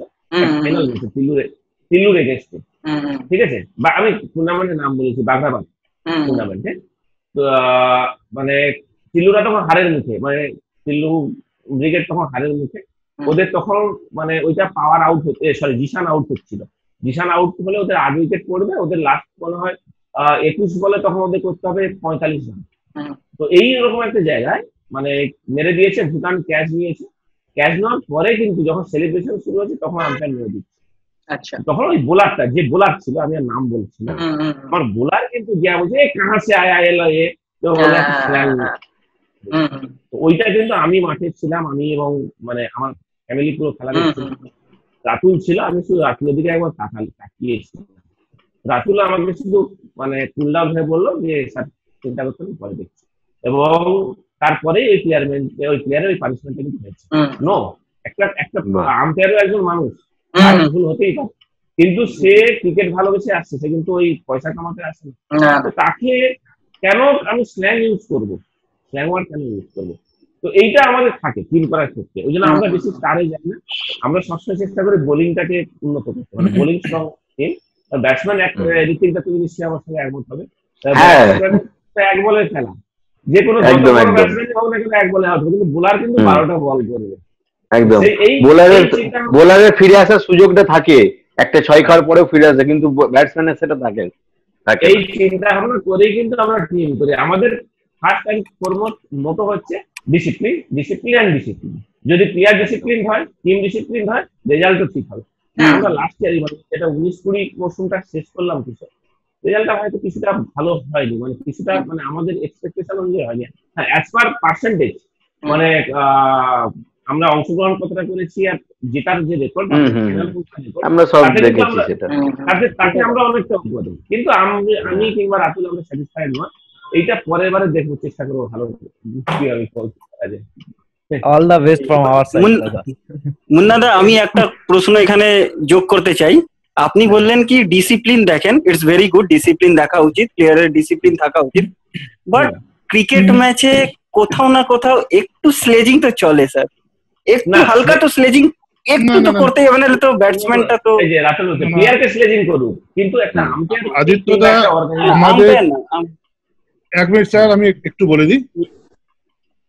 আদিত্যদা প্লেয়ার সেজিং এর জায়গাটা টোটালি সম্পূর্ণ আলাদা। আমরা মাঠে কোনোদিন আটকান ইভেন আমাদের যে স্যান্ডি আছে বেঙ্গলের বুকে খুবই খারাপ রেপুটেশন হয়ে গেছে ও প্লেয়ারকে সেজিং করে। সত্যিকারের। কিন্তু নো ডাউট আমরা ওর জন্য কোনো এক্সকিউজ আমি দিতে চাই না কেন কি মাঠে পার্ট অফ ক্রিকেট স্লেজিং তো। হ্যাঁ। ওটা সব aggressive হ্যাঁ নিশ্চয়ই আমরাও সেটা চাই। অ্যাগ্রেসিভ ক্রিকেটটা হোক। তাহলেই তো চোখে চোখ না রাখলে আজকাল হেরেই আগে থেকে মাঠে বিরাট কোহলিও করে সেটা। হ্যাঁ আমার সঙ্গে ছোট ডিম পড়ুক বা আমার বেঙ্গলের যে গর্ব টিল্লু শর্মার টিম পড়ুক আমি যদি আগে থেকে মন থেকে ভেবে নিই কি আমি ছোট হয়ে খেলতে নেমেছি বা টিল্লুকে কোনো ব্যাটসম্যানকে আউট করে আমি যদি চোখে চোখ না রাখতে পারি তাহলে আমি গেমের আগেই হেরে হ্যাঁ, গেলাম একদম একদম ঠিক তাই দাদা। ক্লেজিংটা আলাদা জায়গা কিন্তু আমি এটা আমরা আমাদের না, টিম আমরা- ম্যানেজমেন্ট এটা চাই না কি এম্পায়ারের সঙ্গে দুর্ব্যবহার বা কমিটির উপর কোনো দুর্ব্যবহার এগুলো। যেন আমরা অনেকটাই মানে ইয়ে করে চলি। অবশ্যই অবশ্যই। হুম। এবং এই প্রসঙ্গে কিশোর বলি এই বছর লাস্ট আমরা উনিশ কুড়ি মরশুমে চন্দ্রকোনা টাউনে আমরা চ্যালেঞ্জ কাপ এগেন যেটা হয় এক লাখ টাকা টুর্নামেন্ট ওইটা আমরা চ্যাম্পিয়ন হয়েছি এবং ওখানে একটা রেকর্ডের জিনিস স্যান্ডি একটা ম্যাচে ডবল স্যান্ডি একটা ম্যাচে ডবল হ্যাট্রিক করেছিল। ইলেভেনের সঙ্গে সেমিফাইনাল একটা ম্যাচে সরি চুয়াডাঙ্গার সঙ্গে ফাইনাল হুম। পেয়েছিল চুয়াডাঙ্গা বলার একটা ম্যাচে ডবল হ্যাট্রিক করেছিল। তবুও কিন্তু স্যান্ডি বেস্ট বোলার পায়নি। আচ্ছা। তার কারণ আছে ওই মাঠে স্লেজিং কিন্তু আচ্ছা। আচ্ছা। আমরা ওখানে মানে ইন্টারফেয়ার করি না। কিন্তু একটা মানুষ আম্পায়ারিং করছেন একটা অর্গানাইজিং কমিটি যারা হেড আছেন তারা রাত দিন মানে মাথার ঘাম পায়ে ফেলে। টুর্নামেন্ট করছেন। ওদের সঙ্গে মানে খারাপ ব্যবহার আমরা কোনোদিনও মেনে নেব না। আর। যে প্লেয়ারকে আমরা এইবারে পানিশমেন্ট দিয়েছি সে কিন্তু আম্পায়ারকে একটা মানে স্ল্যাং ইউজ করেছে। এবং ওই ওই প্লেয়ারকে এই বছর আমরা রাখছি না কিন্তু রাতুল মানে রাতুলেরই সুপারিশ যে না সাথে এরকম প্লেয়ার আমরা রাখব। না। এই তো দ্বিতীয় প্রশ্ন দ্বিতীয় প্রশ্নতে যাচ্ছি। দ্বিতীয় প্রশ্ন হচ্ছে ঋত্বিকদার জন্য। দাদা একটা টুর্নামেন্ট অর্গানাইজ করতে কি কি নাকি কি কি অবস্ট্রাকল আছে আর কীভাবে ওটাকে হ্যান্ড ওভার করতে হয়? মানে তোমার জন্য সেম ধরে নাও যে একটা টুর্নামেন্ট আসছে মানে একটা তুমি কীভাবে স্ট্র্যাটেজাইজ করবে জিনিসটা? মানে সাকসেসফুল করার জন্য। হ্যাঁ। কেএমপিএল অর্গানাইজ করার কতদিন আগে থেকে প্ল্যানিং স্ট্র্যাটেজিজ চলে? এন্ড হ্যাঁ মোটামুটি কত পর পর যায়? কতদিন যেটা লাস্ট ইয়ার হঠাৎ করে এবং তার আগের ইয়ার নেক্সট আমরা আমরা টুর্নামেন্টে এই টুর্নামেন্টটা করছি এই ষোলোটা টিমের এবং থ্রি ডেজ এর এই লাস্ট দু বছর। তার আগে আমি কিন্তু তার আগেও দশ বারো বছর আমি টুর্নামেন্ট চালিয়েছি যেটা হচ্ছে ষোলো ওভারের ক্রিকেট চলছে মাঝে ওয়ান ডে দু এক over- দু এক বছর চলেছিল। তো আমি আমি কখনো মানে ওই ছোট ক্রিকেটের আমি পক্ষপাতিত্ব নই। আমি ষোলো ওভারের খেলাতেই আমি বেশি পক্ষপাতিত্ব। তো সেটাতে মেন হচ্ছে সেই জন্য ষোলো ওভারের খেলাই চলতো। আস্তে আস্তে কি হয়ে যায় ষোলো ওভারের খেলা টিম হতে বন্ধ হয়ে গেল। ষোলো ওভারের খেলা কেউ খেলতে চাইছে না। তো লাস্টে এই দু বছর আগে তখন আমাদের আহ, তিন দু তিন বছর আমাদের ক্রিকেটটা বন্ধ হয়েছিল আমাদের মাঠে। তারপরে সবাই মিলে আলোচনা করে আমি রমেন আমার দাদা ভাই অনেক আছে আরও গ্রামের কিছু সিনিয়র যে আবার খেলাটা দেওয়া হোক। তো ছোট করেই তিন থ্রি ডে করা হোক অত যেহেতু পনেরো দিন ধরে চলতো তখন ষোলোটা টিম মানে টোটাল পনেরোটা গেম হতো। পনেরো দিন ধরে চলতো। আমাদের একটা পুজো থাকতো এই মানে মাঘ মানে যেটা হচ্ছে ফেব্রুয়ারি আহ, শুরুর দিকে একদম ওই দু আচ্ছা। চার তারিখ করে পুজোটার আগের দিনে আমরা ফাইনাল করতাম। তো তখন কি হলো তারপরে আমরা ওই ওয়ান ডেটা দিতে থাকলাম আট ওই চার ওভার পাঁচ ওভারে কিন্তু অত ভালো লাগে ওই জন্য তিন দিনে শুরু করলাম। তিন দিনেও সেই ছ ওভারই হচ্ছে। আমার খুব ইচ্ছা আট দশ ওভারে খেলা করার। তো চেষ্টা করব যদি সামনের বছর পাঁচ দিন করা যায়। অন্তত অন্তত আট ওভার করো। হ্যাঁ সেইটাই সেইটাই চেষ্টা করব অন্তত হ্যাঁ চেষ্টা- করো হ্যাঁ সেমিফাইনালটা ফাইনালটা তবু আট আট ওভার করে হয়েছিল মনে হয় এবছর। আট ওভার করে হয়েছিল। এক দুটো ম্যাচ বোধ হয় ব্যাড লাইটের কারণে পরে ওই যে আমরা কার্টেল করে তিন হ্যাঁ, তিন ওভার হ্যাঁ, হ্যাঁ, হ্যাঁ। ওটা কিছু করার ছিল না। করতে একটু বৃষ্টি বৃষ্টি হয়েছিল। হয়েছিল হ্যাঁ। তো খুবই প্রায় পাঁচ ছ মাস আগে থেকে প্ল্যানিং করতে হয়। কিন্তু ওই জায়গাটায় তুমি যেভাবে করে করেছ জিনিসটা মাইন্ড ব্লোয়িং হ্যাঁ। মানে আমরা এই সাইডে বসে কিন্তু ভাবছি যে it should be cartel it should be cartel you should do it summer three four three four দেখি তুমি ডিসিশন নিয়ে নিয়েছিলে। ইট ওয়াজ নাইস হ্যাঁ হ্যাঁ হ্যাঁ। হ্যাঁ, সেটাই। তো তো কারণ আমি নিজেও খেলে এসেছি তো সেই ওই অভিজ্ঞতাগুলো একটুখানি কাজে লেগেছে। খুবই আহ, একটা টুর্নামেন্ট চালানোর জন্য খুবই অসুবিধা হয়। আমাদের টুর্নামেন্ট অতটাও বড় নয়। অ্যামাউন্টটাও খুব সেরকম ঠিক আছে। কমই অ্যামাউন্ট তো যেটা মেন অডিয়েন্স অডিয়েন্সের রেঞ্জ দেখে কম দাদা- মনে হয় না হ্যাঁ কম মনে হয় না ঠিক আছে? দাদা একটা কথা বল দাদা একটা কথা বলব। টুর্নামেন্ট টুর্নামেন্ট হয়। অ্যামাউন্ট কত প্রাইস মানি কি আছে কত আছে ভালোবাসা। ভালোবাসার মান দিয়ে ভালোবাসার মান দিয়ে আমাদের করা উচিত। একদম। হ্যাঁ যেটা হচ্ছে আমরাও এই টুর্নামেন্টটাকে আর কি মেইনলি হচ্ছে আমাদের পাশেই তো রাজনন্দিনী তো যেটা রাজীব দা দেবাদারা করে তো তারাই আমাদের ইন্সপিরেশন সত্যি কথা বলতে। সেখানে আমরা প্রথম থেকে আমি খেলা দেখতে যেতাম। আমরা কেএমডিএস দু হাজার সতেরোতে আমরা ওখানে টিল্লুদাকে আমরা হোম টিম নিয়ে আমরা নিজেদের টিম আছে কেএমডিএস হোম টিম। নিয়ে আমাদের মেমারির মাঠে অনলি একমাত্র বর্ধমানের সতীশ ছিল। তাছাড়া সাগর সানি আমার ভাই আমার পাশের বাড়ির আমার কাকার ছেলে এদেরকে নিয়ে টিল্লুদার ফুল সেটকে আমরা কোয়ার্টার ফাইনালে হারিয়ে দিয়েছিলাম। তো তারপরে রাজীব দা আমাদের রাজ- রাজনন্দিনীতে চান্স দিয়েছিল। তো সেটাতে আমরা- আমি টিল্লুদাদের আমরা কোনো ইয়ে করিনি মানে প্রচুর খুশি হয়েছিলাম। এমনকি আমি কেঁদে ফেলেছিলাম রমেন জানে আহ, তো রমেনও শুনছে রমেন জানে তো আমি কেঁদে ফেলেছিলাম। মানে টিল্লুদাদের মতো টিম অ্যাকচুয়ালি টিল্লুদার এগেনস্ট টিল্লুদার এগেনস্টে হোম টিম নিয়ে হারিয়েছিলাম। মানে সানি সাগর একদম পাতি আমাদের গ্রামের ছেলে আর কি। শুধু বাইরের বলতে বর্ধমানে সতীশ মুন্নাদা চেনে। খুব ভালো করে। হ্যাঁ, হ্যাঁ, হ্যাঁ, হ্যাঁ, সতীশ। শুধু আমাদের খেলেছিল সতীশ আর গুসকরা রানা। এই দুজনে আমাদের টিল্লুদার এগেনস্টে আরও আরও একটা বড় ম্যাচে আমাদের জয় মানে জেতা হয়েছিল যেটা সেমিফাইনাল গেম ছিল। সেটা হচ্ছে তারকেশ্বর নারায়ণপুর আছে না? নারায়ণপুরে। একটা বড়। গেম হয় আর কি। ওই গেমটাতেও এগেনস্টে আমাদের সেমিফাইনাল খেলা ছিল। তো game- তখন আমাদের টিম আরও ভালো ছিল আর কি। তখন হ্যাঁ, আমাদের বাইরেরও বাইরেরও তখন দিল্লির ওই সচিন টচিন ছিল মানে ওরই মধ্যে। আমাদের এই টিমের থেকে ওই টিমটা তবু ভালো ছিল আর কি। মানে আমরা লোকাল তো তারপরে রাজনন্দিনীতে চান্স পেয়েছিলাম। তো সেই রাজনন্দিনীতে আমরা আট দশ বছর রাজনন্দিনী হচ্ছে। আমরা দশ বছরই আমি যাই রাজনন্দিনী। খেলা দেখি। ওই মাঠে আগে বসে থাকতাম ওই পিছনে বসে থাকতাম। মানে মানে ওখান থেকে কি শিখা? মানে কীভাবে একটা টুর্নামেন্টকে বড় আরও বড় হ্যাঁ, করা যায়? মানে ওখানে তো কিছু বুঝতেই পারতাম না রাজনন্দিনীতে তো বুঝতে পারতাম না। আমরা পিছনে বসে থাকতাম জাস্ট খেলা দেখতাম খেলা খুব ভালো লাগতো। ডেকোরেশন গেস্ট ওই গেস্ট আসতো খুব ভালো লাগতো। দেবাদা রাজীব দা ওদের কাছেও যেতে পারতাম না কোনোদিন। তারপরে আস্তে আস্তে খেলার সূত্রতেই আস্তে আস্তে গেস্ট হিসাবে ওখানে ঢোকার চান্স হয়েছে ভেতরে। আর এমনি এমনি ধরো যখন আহ, কি বলে এই যে টুর্নামেন্ট করলে হ্যাঁ? টুর্নামেন্টটা যখন শেষ হয়ে যায় কতটা দুঃখ থাকে মনে।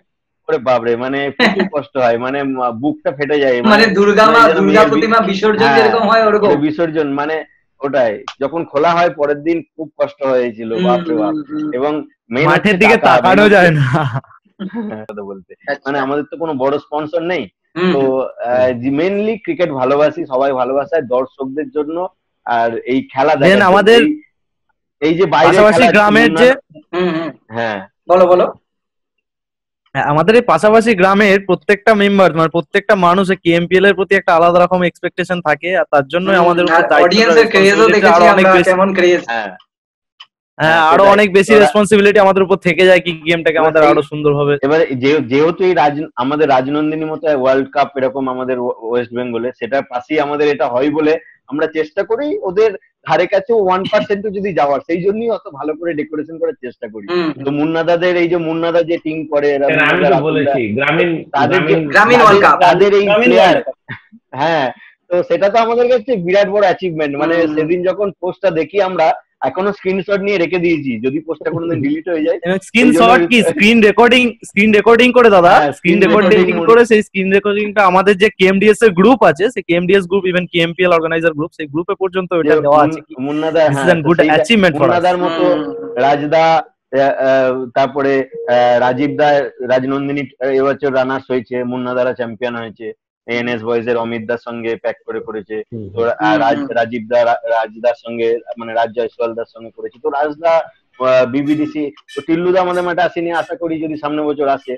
মুন্না সব যদি সবাই আসে তো আমাদের কাছে। আমরা চেষ্টা করব অঙ্কুর সিংকে নিয়ে যেতে।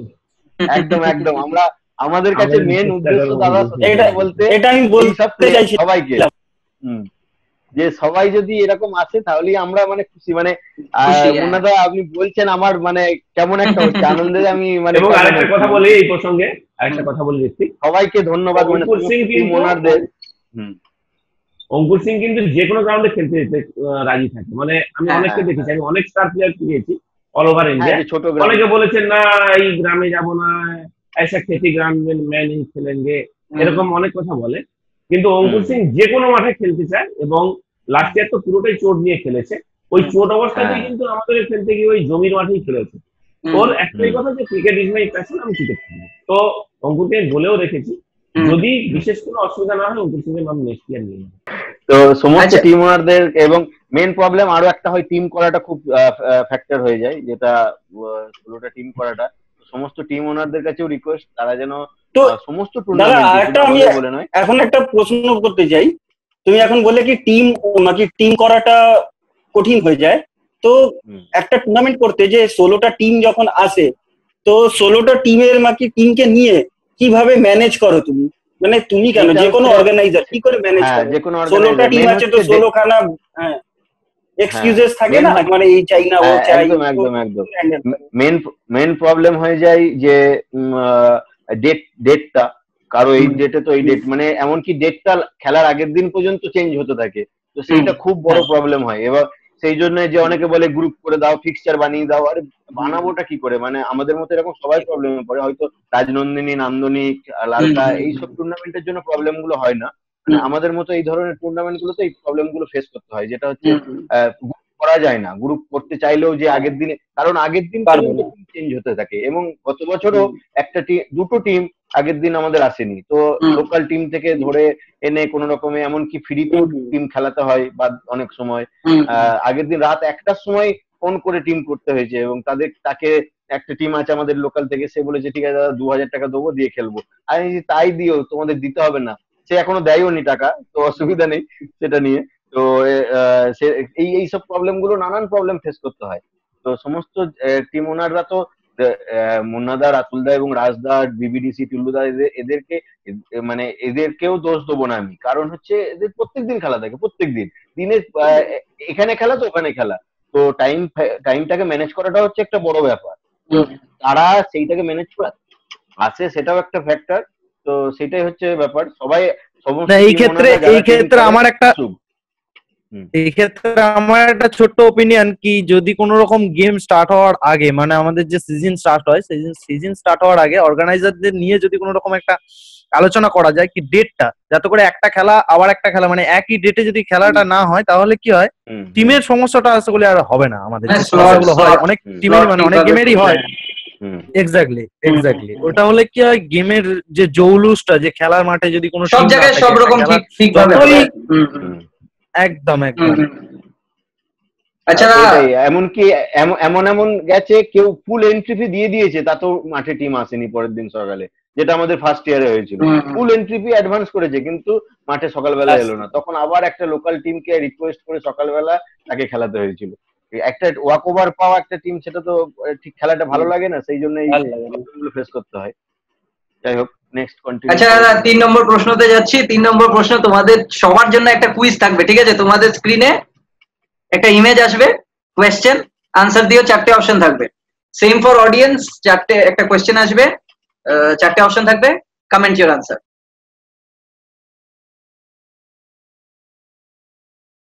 এবার এটার আনসার দাও এটা ইন্টারন্যাশনাল ক্রিকেটার কে? Third third third third third one third one K L Rahul K L Rahul সবাই সবাই কে এল রাহুল তো? হ্যাঁ। হ্যাঁ কে এল রাহুল। রাতুল কি বলছো? বিরাট কোহলিও হতে পারে দাড়িটা দেখে নিন একবার স্যার।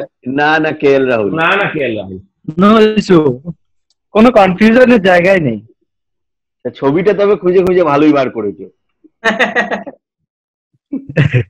আচ্ছা আচ্ছা আচ্ছা। তুমি বলো আচ্ছা আমরা আমরা তো সবাই তুমি বলো কি ছিল? Answer K L Rahul K L Rahul. Correct correct correct okay তো আহ, চার নম্বর প্রশ্ন আহ, চার নম্বর প্রশ্ন আদিত্য করবে। প্রশ্নটা হচ্ছে এটা সবার জন্যই আমি বলতে পারি। হুম হুম। সবার জন্যই এই প্রশ্নটা। প্রশ্নটা হচ্ছে যেমন রঞ্জি টুর্নামেন্টে বা আমাদের টেনিস ক্রিকেটেও হয় কি যখন কোনো একটা বড় টুর্নামেন্ট যেমন রঞ্জি টুর্নামেন্টে কি হয় যে রঞ্জি চ্যাম্পিয়ন থাকে তারপর একটা ইরানি ট্রফি হয় যেখানে Ranji champion versus rest of India খেলা হয়। আর মহারাষ্ট্র টেনিস ক্রিকেটেও সেম হয় হয়েছে এবারও হয়েছে। রায়গড় জিতেছিল কোন একটা টুর্নামেন্ট তো Raigad versus rest of Maharashtra হয়েছিল। হ্যাঁ, তো. আমাদের বেঙ্গল হ্যাঁ, হ্যাঁ, আমাদের বেঙ্গল টেনিস ক্রিকেটের বিশ্বকাপ হচ্ছে হ্যাঁ হ্যাঁ আমাদের বেঙ্গলে যেহেতু রত্নাগিরি। আমাদের যেহেতু ইয়েস হুম, ইয়েস হুম। তো আমাদের বেঙ্গলে যেমন রাজনন্দিনী হচ্ছে বিশ্বকাপ তো রাজনন্দিনী টুর্নামেন্টের পর যদি এক একদিন পর Rajnandini champions versus best of West Bengal হ্যাঁ টিম করে যদি খেলানো হয় তাহলে কি এটা কি ভালো ডিসিশন হবে না? ধরো রাজনন্দিনী হলো ভেনিউ রাজনন্দিনীতে নেক্সট দিন হচ্ছে এইভাবে করা হলো। তো what do Rajnandini champion versus rest of Bengal খুবই ভালো প্ল্যান খুবই ভালো। হ্যাঁ ভালো না হওয়ার কিছু নেই। হ্যাঁ কারণ কি এখান থেকে আমার মনে হচ্ছে কি একটা ভালো প্লেয়ারদের ইয়ে পাবে প্ল্যাটফর্মটা পাবে। যে আমরা হয়তো জিততে পারিনি বাট এখানে পারফর্ম করেছি তার জন্য আমাদেরকে টিমে সিলেকশন হলো রেস অফ বেঙ্গল প্ল্যানিংটা ভালো কিন্তু যদি এটা মানে এক্সিকিউট করতে হয় তাহলে প্রথমে রাজনীতির কথা বলে রাখতে হবে। হ্যাঁ যে যাতে ওই পরের দিনের স্লট নেওয়া থাকে। নাহলে কি হয় জানুয়ারি মাসে তো খেলাটা হয়। ছাব্বিশ তারিখ ওখানে হ্যাঁ। তো সাতাশ তারিখ আবার অন্য জায়গায়। সব সেটাই সেটাই। স্লট নিয়ে রাখতে হবে। নেক্সট প্রশ্ন হলো আবার একটা আহ, তোমাদের জন্য কোয়েশ্চেনই রাখছি ঠিক আছে? কেননা এটা আর এটা প্রিভিয়াসলি চলে এসছে তোমরা যদি নর্মালি বেঙ্গল এসেছে। পাও ঠিক আছে? তো এটার এটার আনসার দাও। কেননা তোমরা আনসার তোমাদের থেকে আনসার পাইনি তাই।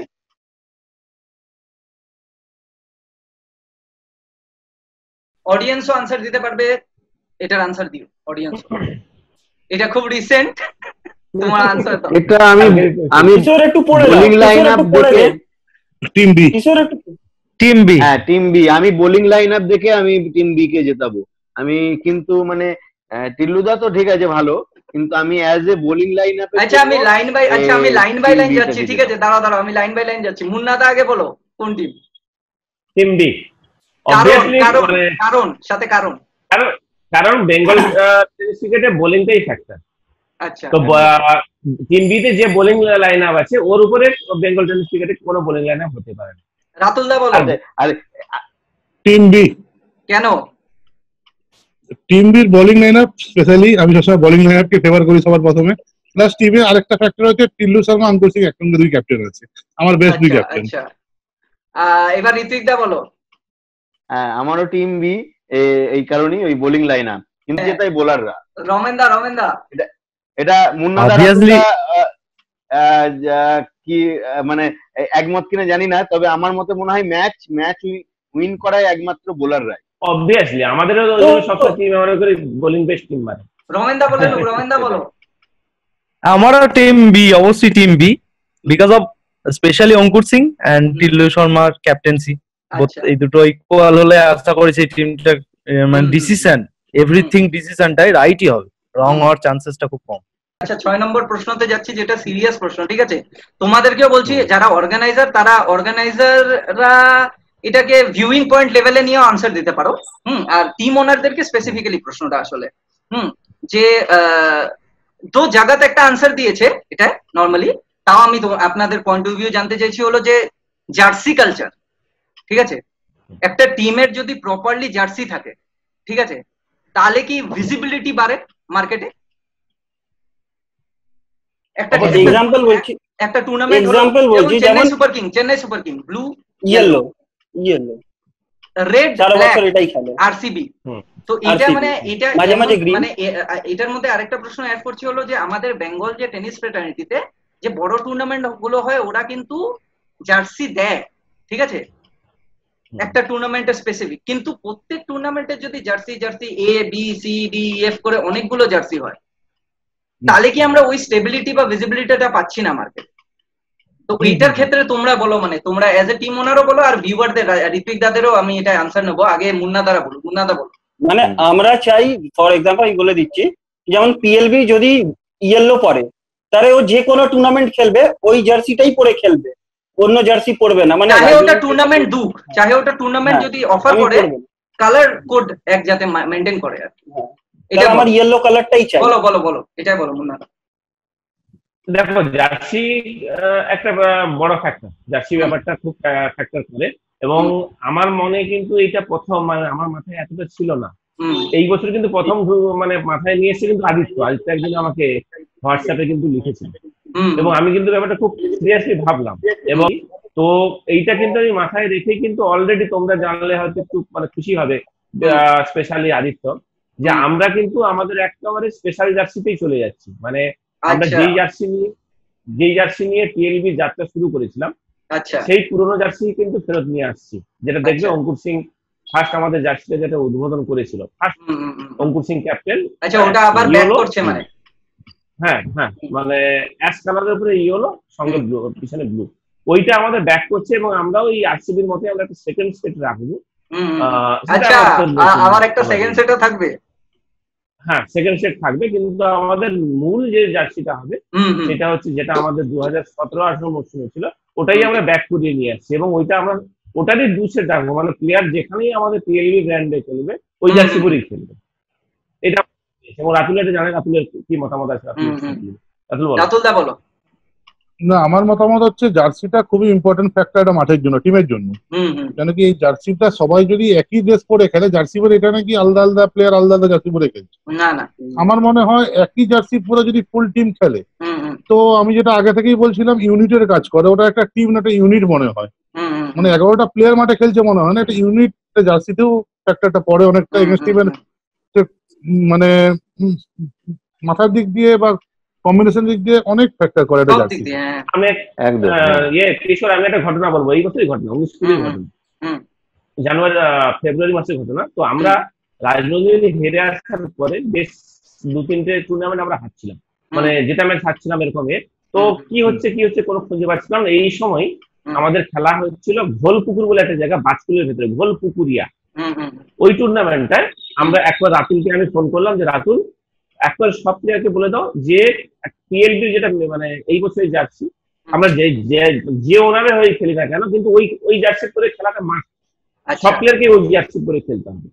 এবং কি ওই জার্সিটা পরেই কিন্তু তখন রাতুল বলে আচ্ছা আচ্ছা ঠিক আছে ভালো আইডিয়া তো রাতুল বলে দিল আমরা পরের দিন আমাদের ম্যাচ ফার্স্ট ম্যাচ একটা ওই ওই জার্সি পরে আমরা ফার্স্ট ম্যাচ এই পিনাকিরাদের হারালাম। তারপরেই ম্যাচই বসন্তিয়া এবং সুইট ইলেভেন প্যাক মানে তখন সবে সবে বসন্তিয়া চ্যাম্পিয়ন হয়েছে নান্দনিক। সুইট ইলেভেন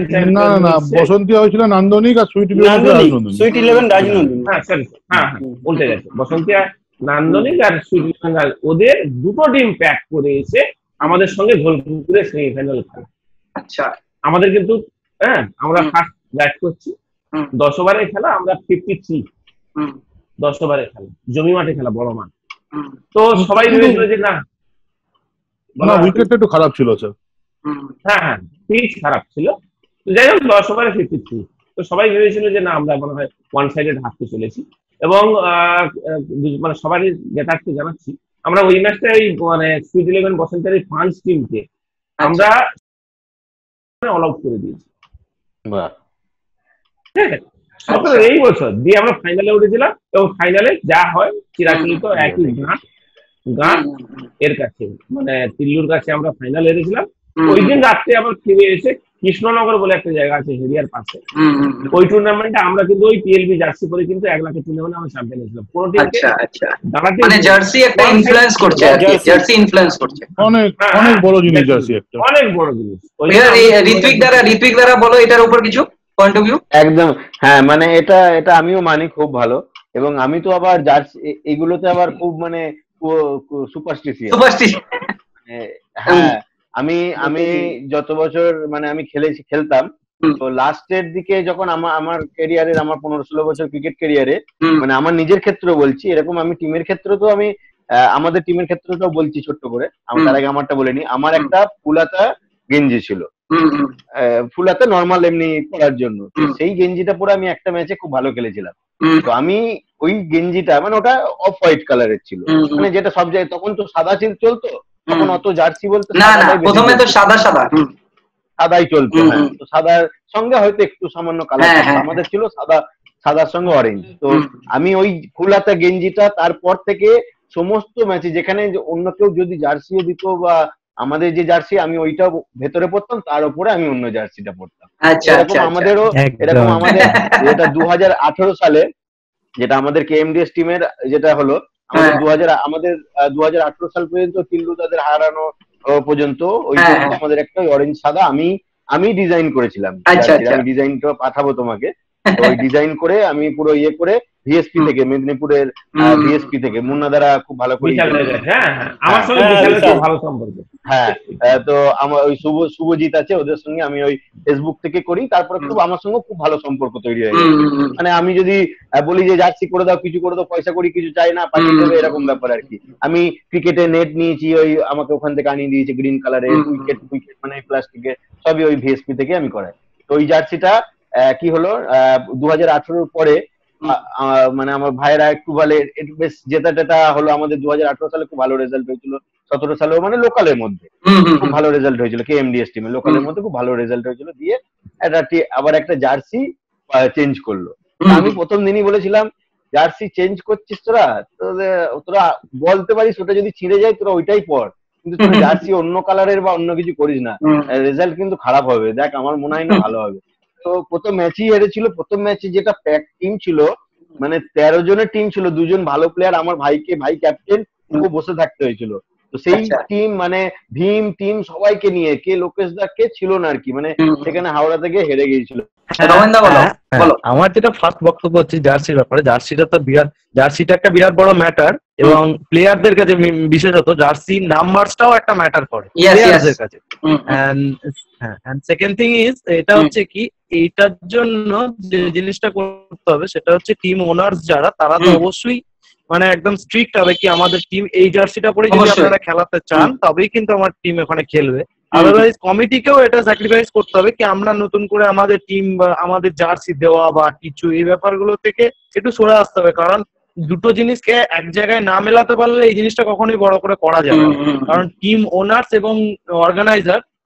দুজনাই যদি চাই যে না আমরা আমাদের জার্সিতে খেলাবো ইভেন ওরাও যদি চায় আমরা আমাদের জার্সিতে খেলাবো তাহলে সেটা পসিবল হবে না। সেই জায়গা থেকে দুজনকে এক জায়গায় হয়ে এই। ডিসিশনটা নিতে হবে কি আমরা এই জার্সিতেই খেলব। প্লেয়ার বা টিমের যে জার্সি সেই জার্সিতেই খেলা হবে। ওনার্স বা অর্গানাইজার আলাদা করে কোনো জার্সির জন্য অ্যালাউড করবে না। যদিও করতে হয় অবশ্যই জার্সি দিতে পারে। তার জন্য যখন প্লেয়ার বরণ করে নেওয়া হয় তখন। প্লেয়ারদেরকে জার্সিটা দেওয়া হবে ইভেন সেই জার্সিটা পরে বরণ করা বা জাতীয় সংগীত সেটার জন্য রেসপেক্ট করার জন্য অবশ্যই আমাদের যখন ন্যাশনাল অ্যান্থেম হবে তখন দাঁড়িয়ে ওটা পরে যদি কেউ করে নেয় ওকে। এয়ারপোর্ট নিজেরা নিজে নিজের জার্সি পরে খেলার জন্য এটা এটা যদি করা হয় তবেই কিন্তু এটা মানে বাস্তবায়িত হবে। আদারওয়াইজ এটা বাস্তবায়িত হবে না। আমরা এই মানে আমরা এই কোয়েশ্চেনটা এই জন্যই রেখেছিলাম যে ধরে নাও যদি এটা পুরোপুরি এইভাবে হয় যে জার্সি নর্মালি আমরা কি দেখি আমরা আমি একদম ইন্ডিয়া লেভেলে নিয়ে যাচ্ছি ইন্টারন্যাশনাল লেভেল আমরা দেখবে টি টোয়েন্টির একটা জার্সি আছে যেটা টি টোয়েন্টি ওয়ার্ল্ড কাপসে লঞ্চ হয় আর চার বছরের ওয়ার্ল্ড কাপের মানলাম টেনিস ক্রিকেটে এক বছর এক বছর সিজনে হলে বেশি বেটার হুম কারণ এটাই হলো যে যদি এটা আইল্যাশেসে পড়ে সবার চোখে যে পার ইয়ার জার্সির একটা মোটামুটি চেঞ্জেস চেঞ্জেস আসছে একেবারে ট্রেন্ডিং ট্রেন্ডিং টপিক হয় আর হয় না যে পিএলবির ফ্যান ট্রেন্ডিং বিবিটিসি নারকেল ডাহা ফ্যান ট্রেন্ডিং জার্সি আসছে জার্সির এরকম করে আলাদা করে হচ্ছে মানে। মানে লঞ্চ থেকে শুরু করে এভরিথিং ওইটার একটা অ্যাট্রাকশন মার্কেট আর কি। ব্র্যান্ডিং তো আমরা কিশোর এই বছর কিন্তু আমাদের জার্সি লঞ্চ করিয়েছিলাম হায়দ্রাবাদে গিয়ে। হ্যাঁ হ্যাঁ, হ্যাঁ। দেখেছিলাম। এটা আমরা। এরপর এরপর থেকে এরপর থেকে যদি এরপর থেকে হলে আমাদেরকেও বলবে আমরাও দিতে পারব আর কি। না না এরপর থেকে করা বলতে আমি তো আদিত্য আছে আমার ওয়ার্ল্ড ক্রিকেট হুম, এরাই আমার করবে। ঠিক তো রাতুল? থ্যাংক ইউ স্যার একদম একদম। থ্যাংক ইউ স্যার এত বলার জন্য। আচ্ছা এইবার আমরা নন ক্রিকেটিং কোয়েশ্চেনে যাচ্ছি। ক্রিকেট ভুলে যাও ক্রিকেট শেষ ঠিক আছে? ক্রিকেট নিয়ে যা কোয়েশ্চেন ছিল সব শেষ। এবার একদম স্পেসিফিক্যালি আনসারগুলো দেবে ঠিক আছে? নন ক্রিকেটিং মানে তোমার প্যাশন রিলেটেড প্রশ্ন হবে। তো যাচ্ছি লাইন বাই লাইন যাব একজন একজন করে জিজ্ঞেস করব।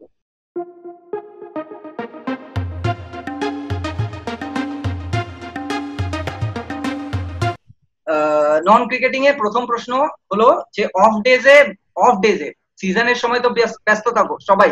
হুম অফ ডেজে অফ সিজনে কি করো? বেশি সময়টা কি করো? মানে যখন কাজ হয়ে যায় কাজ হওয়ার পর বন্ধুদের সাথে আউটিং এ যাওয়া পছন্দ হয় না ফ্যামিলির সাথে কাটানো? মুন্নাদা প্রথম বলো। আমার ফ্যামিলির সঙ্গে কাটানো। কারণ সিজনের অর্ধেকটাই তো চলে যায় টিমের পিছনে। তো বাকি সময়টা একটু ফ্যামিলির সঙ্গে সঙ্গে কাটাতে চাই। আচ্ছা। তো কাটাতে পছন্দ করি। আচ্ছা আচ্ছা। রাতুল দা? ফ্যামিলির সঙ্গে আউটিং এ যাওয়া। আচ্ছা ফ্যামিলির সাথে আউটিং এ যাওয়া ফ্যামিলির আচ্ছা। সাথে। দুটোই দিলাম। হুম হুম হুম। হুম। আর আহ, ঋত্বিক দা? আহ, ঋত্বিক দা সময় পাও কি? আগে বলো। না সময় পাই। তারই মধ্যে মানে ফ্যামিলি তো ঠিক ফ্যামিলির সঙ্গে তো আছে ফ্যামিলির সঙ্গে সময় চলে বন্ধুদের সঙ্গে হলেও ভালোই হয় আমি খুব একটু আড্ডা বাজ আর কি। হ্যাঁ হ্যাঁ ওটা আমরা দেখেছি। রমেন দা বলো। করি তার মধ্যে আড্ডা মারতে কি বল? না আমার একটা আমার একটা ফ্যাসিনেশন বলতে পারো হবি বলতে পারো কি ট্রাভেলিংটা আমার একটা হবি তো সেই আচ্ছা। জায়গা থেকে আমি চেষ্টা করি যখনই যে সময়টা একটু ফাঁকা টাইম মানে কাজ টাজ বাদ দিয়ে যে সময়টা ফাঁকা টাইম পাই সেই সময়টা একটু লং জার্নি কোথাও আউট অফ লং জার্নি কাদের সাথে? মানে ফ্যামিলি নাকি একা যাও না। না, রবীন না, দা একা যায় হ্যাঁ একা বলতে ফ্রেন্ডসদের সাথে অবশ্যই। আচ্ছা আচ্ছা আচ্ছা। ফ্যামিলি সেরকম ভাবে অ্যাকচুয়ালি আমি আনম্যারিড তো ফ্যামিলিতে বাবা মা ভাই আছে। তো তাই কাউন্টিং করে ভালো। ভালো। রমেনদার কাউন্টিংটা তাই জন্যই ভালো সিঙ্গেল না। ডাবল হলে আর কাউন্টিং পারবে না। সেই। আচ্ছা সেকেন্ড সেকেন্ড সেকেন্ড কোয়েশ্চেন হলো হুম। অবভিয়াসলি সিনেমা দেখতে সবার ভালো লাগে। সবাই নিজের ফেভারিট সিনেমা লাস্ট মুভিও হতে পারে বা ফেভারিট সিনেমা কোনটা পছন্দ? নাম্বার ওয়ান মুন্নাদা। ফেভারিট মুভি লাইফ টাইম অগ্নি- অগ্নিপথ কি মানে নতুন নাকি অমিতাভ বচ্চন? না পুরনো অমিতাভ বচ্চন। আচ্ছা আচ্ছা। বিজয় দীনানাথ চৌহান। বিজয় দ্বিতীয় রাতুলদা বলো। নাম তো শোনাই থ্রি থ্রি ইডিয়টস আচ্ছা three idiots three idiots modern modern Hrithik da? এ আমারও থ্রি ইডিয়টস আর আমার তার মধ্যে বাংলা বাংলায় আমার একটা যেটা খুব ভালো লাগে মানে হ্যাঁ। আহ, বেলা শেষে। বেলা শেষে।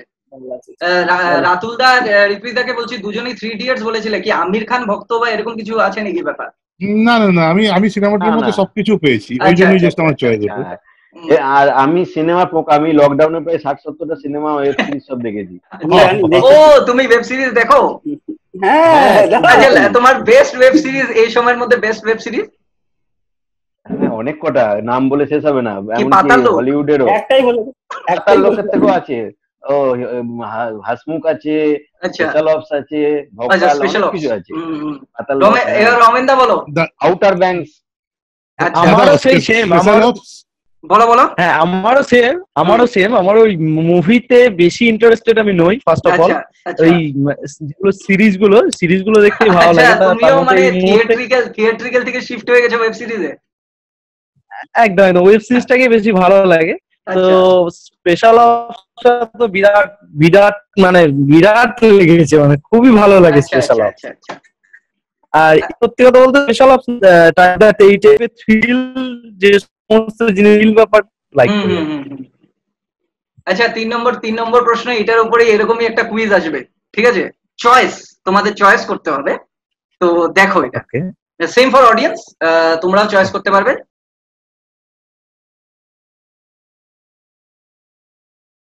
এই এই গানটা কমন গান ঠিক আছে? এই গানটার মধ্যে কোন কোন ভার্সনটা তোমাদের পছন্দ? আমি লাইন বাই লাইন জিজ্ঞেস করছি। প্রথম মুন্নাদা গানটা হচ্ছে খাইতে পান গানটা বলো।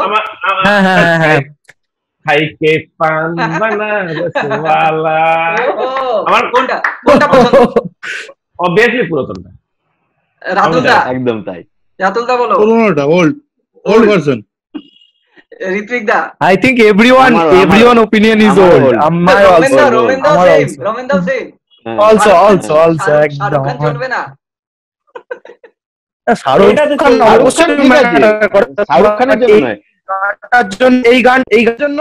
হুম হুম। এই গানটার জন্য ওল্ডাই ওল্ড Perfect.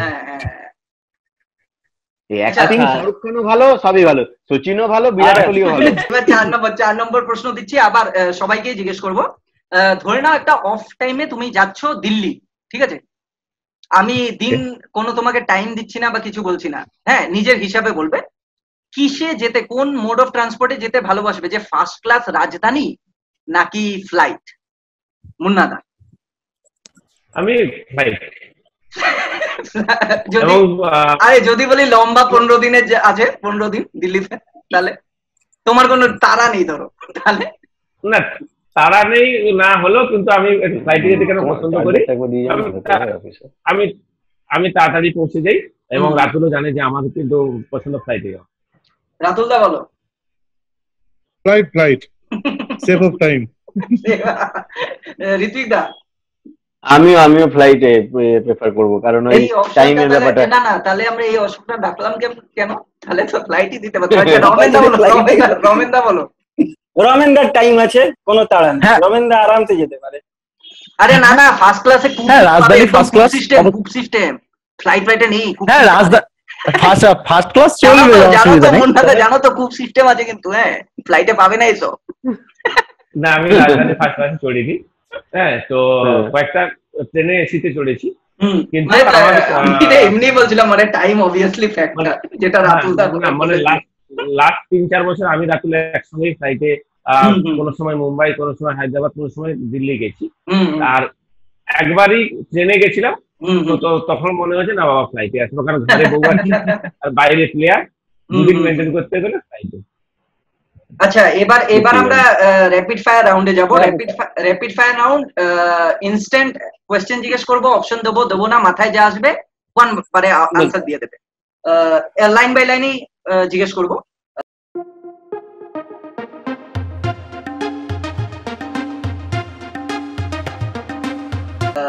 প্রথম প্রশ্ন হলো ঘরের ভাত না বাইরের বিরিয়ানি? মুন্নাদা। ঘরে ভাত। রাতুল দা বিরিয়ানি বাইরে রমেন দা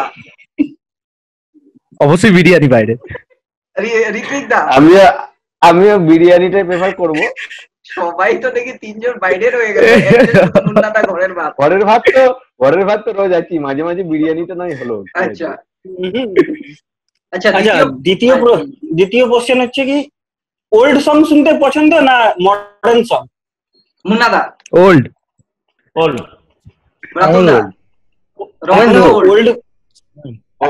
না এটা এটা নর্মালি একটু চলে এসেছে যে খাইকে পান বানাবার সওয়ালার থেকে আমরা বুঝে গেছি যে কি পছন্দ। হ্যাঁ ওল্ড আমার আচ্ছা এবারে প্রশ্নটা হলো your favourite tournament in west বেঙ্গলও হতে পারে বা favourite tournament means tennis cricket tournament বাইরেরও হতে পারে মানে প্যান ইন্ডিয়াও বলবে আর ওয়েস্ট বেঙ্গল বলবে। নিজে বলো যেটা বলতে চাও মুন্নাদা। এটা আমরা চয়েস দিচ্ছি না। আচ্ছা, তোমার চয়েস রাজনন্দিনী। রাজনন্দিনী। আর বাইরে বাইরের আমি বিশেষ আমি যে যতগুলো অ্যাটেন্ড করেছি তার মধ্যে জুনিয়র প্রিমিয়ার লিগ জেপিএল আচ্ছা। পুনে। রাতুল দা। অবভিয়াসলি রাজনন্দিনী বাইরের বললে টেন টুয়েলভ স্বপ্ন। আচ্ছা ঋত্বিক দা?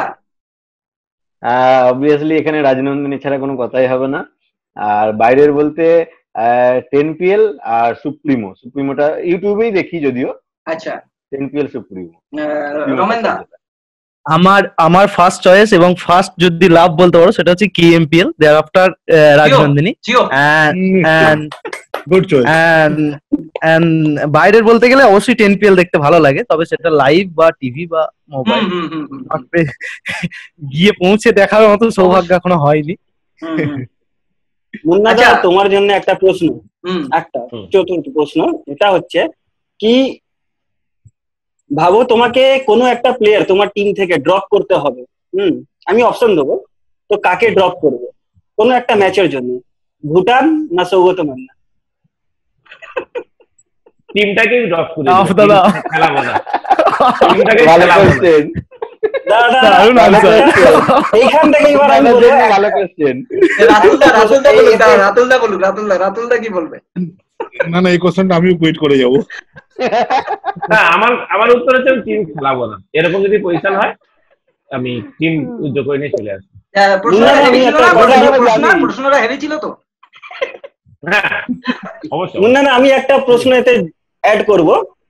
একটা ইন্টারভিউতে আমি শুনেছি আপনাকে যখন বলা হয়েছিল কি প্লেইং ফিফটিন বানাতে হ্যাঁ তো ওখানে আপনি ভুটানদাকে বাদ দিয়েছিলেন। মানে ওকে ফিফটিনে না সিক্সটিনে রেখেছিলেন। তো হ্যাঁ। আর এখন আপনাকে যখন আমি এই প্রশ্নটা বললাম তো আপনি বললেন কি আমি টিম বাদ দিয়ে দেবো। তো এটা একটু এক্সপ্লেন করবেন ভালো হয়। না এক্সপ্লেন বলতে ওই যে টিমটা বানিয়েছিলাম আমি ওটা কিন্তু টেন পিএল এর জন্য টিম আচ্ছা। টেন হ্যাঁ। পিএল এর জন্য পনেরো জনের হ্যাঁ, স্কোয়াড হ্যাঁ। যেটা সেটাতে ভুটান আসছিল না। ষোলো জনের স্কোয়াডে আমি কেন ভুটানকে রেখেছিলাম? কারণ। According to last year performance হিসাবে যদি টিম করা হয় তাহলে ভুটান কিন্তু বেস্ট বেস্ট সিক্সটিনে ফিফটিনে আসছে না। কিন্তু সিক্সটিন হিসাবে কেন ওকে নিয়ে যাব? ভুটান ফিল্ডিং এ কিন্তু পনেরো কুড়ি রান বাঁচিয়ে দিতে পারে। হুম, যে বড় মাঠ ওই বড় মাঠে ভুটান ফিল্ডিং এ পনেরো কুড়ি বাঁচিয়ে দিবে সেই জন্য যদি আমার কোনো প্লেইং ইলেভেনের কোনো প্লেয়ার ইনজিওর্ড হয়ে যায় তাহলে অবশ্যই আমি কিন্তু ভুটানকেই ফিল্ডিং করতে না হব। আমি কিন্তু আর আর বাকি চারজনকে না হব। এইটা হ্যাঁ, এটা মুন্নাদা বলেছিলেন হ্যাঁ। আচ্ছা লাস্ট প্রশ্ন যেটা আছে ওইটাতে যাচ্ছি। এটা হলো আবার একটা কোয়েশ্চেন ঠিক আছে? একটা ক্রিকেট গ্রাউন্ড আছে গেস করতে হবে। সেম ফর অডিয়েন্স একটা ক্রিকেট গ্রাউন্ড আসবে। আমাদের ওয়েস্ট বেঙ্গলেরই চারটে অপশন আনসার দেবে।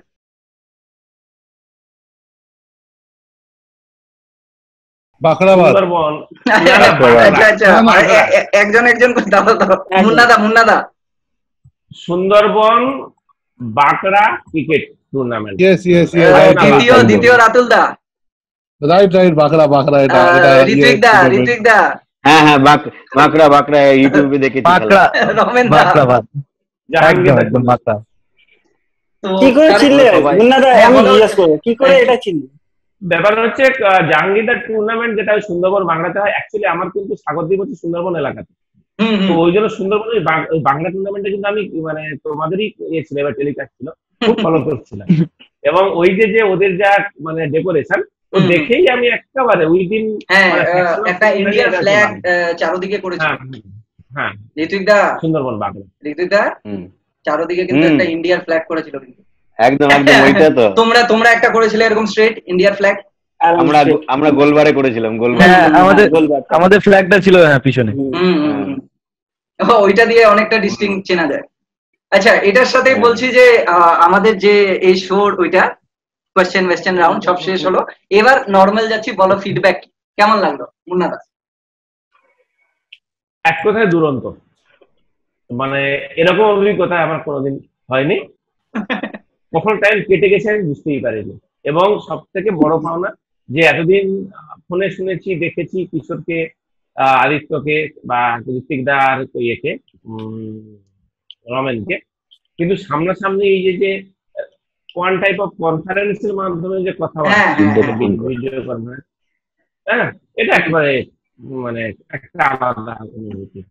রাতুলদা বলো। মানে এটা হচ্ছে একটা অ্যাচিভমেন্ট মানে রাতুলদা বলো। আমার খুবই সত্যিকারে ভালো লেগেছে কেন কি আমি এমনিতেই সোশ্যাল মিডিয়াতে থাকি না।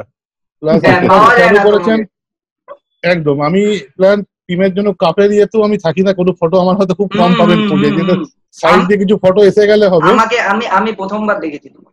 টু বি ফ্র্যাঙ্ক হ্যাঁ সেটাই কথা। আমি কোনো ফটোতেও থাকি না আর কি ওই। তো ইন ক্যামেরা এসে প্লাস একসঙ্গে কনফারেন্স এরকম কথা দেখে আমি নিজে খুব খুশি হলাম। তা বলে হ্যাঁ আমি কোনো টক শো মিস করি না। প্রত্যেকটা লোকের প্রত্যেকটা প্লেয়ারের হুম হুম হুম, সে আমার হিরো হোক বেঙ্গলের কমিটি হোক আমি সবার ইন্টারভিউ ফলো করি। হুম ঋত্বিকদা বলো। হ্যাঁ খুবই ভালো লেগেছে।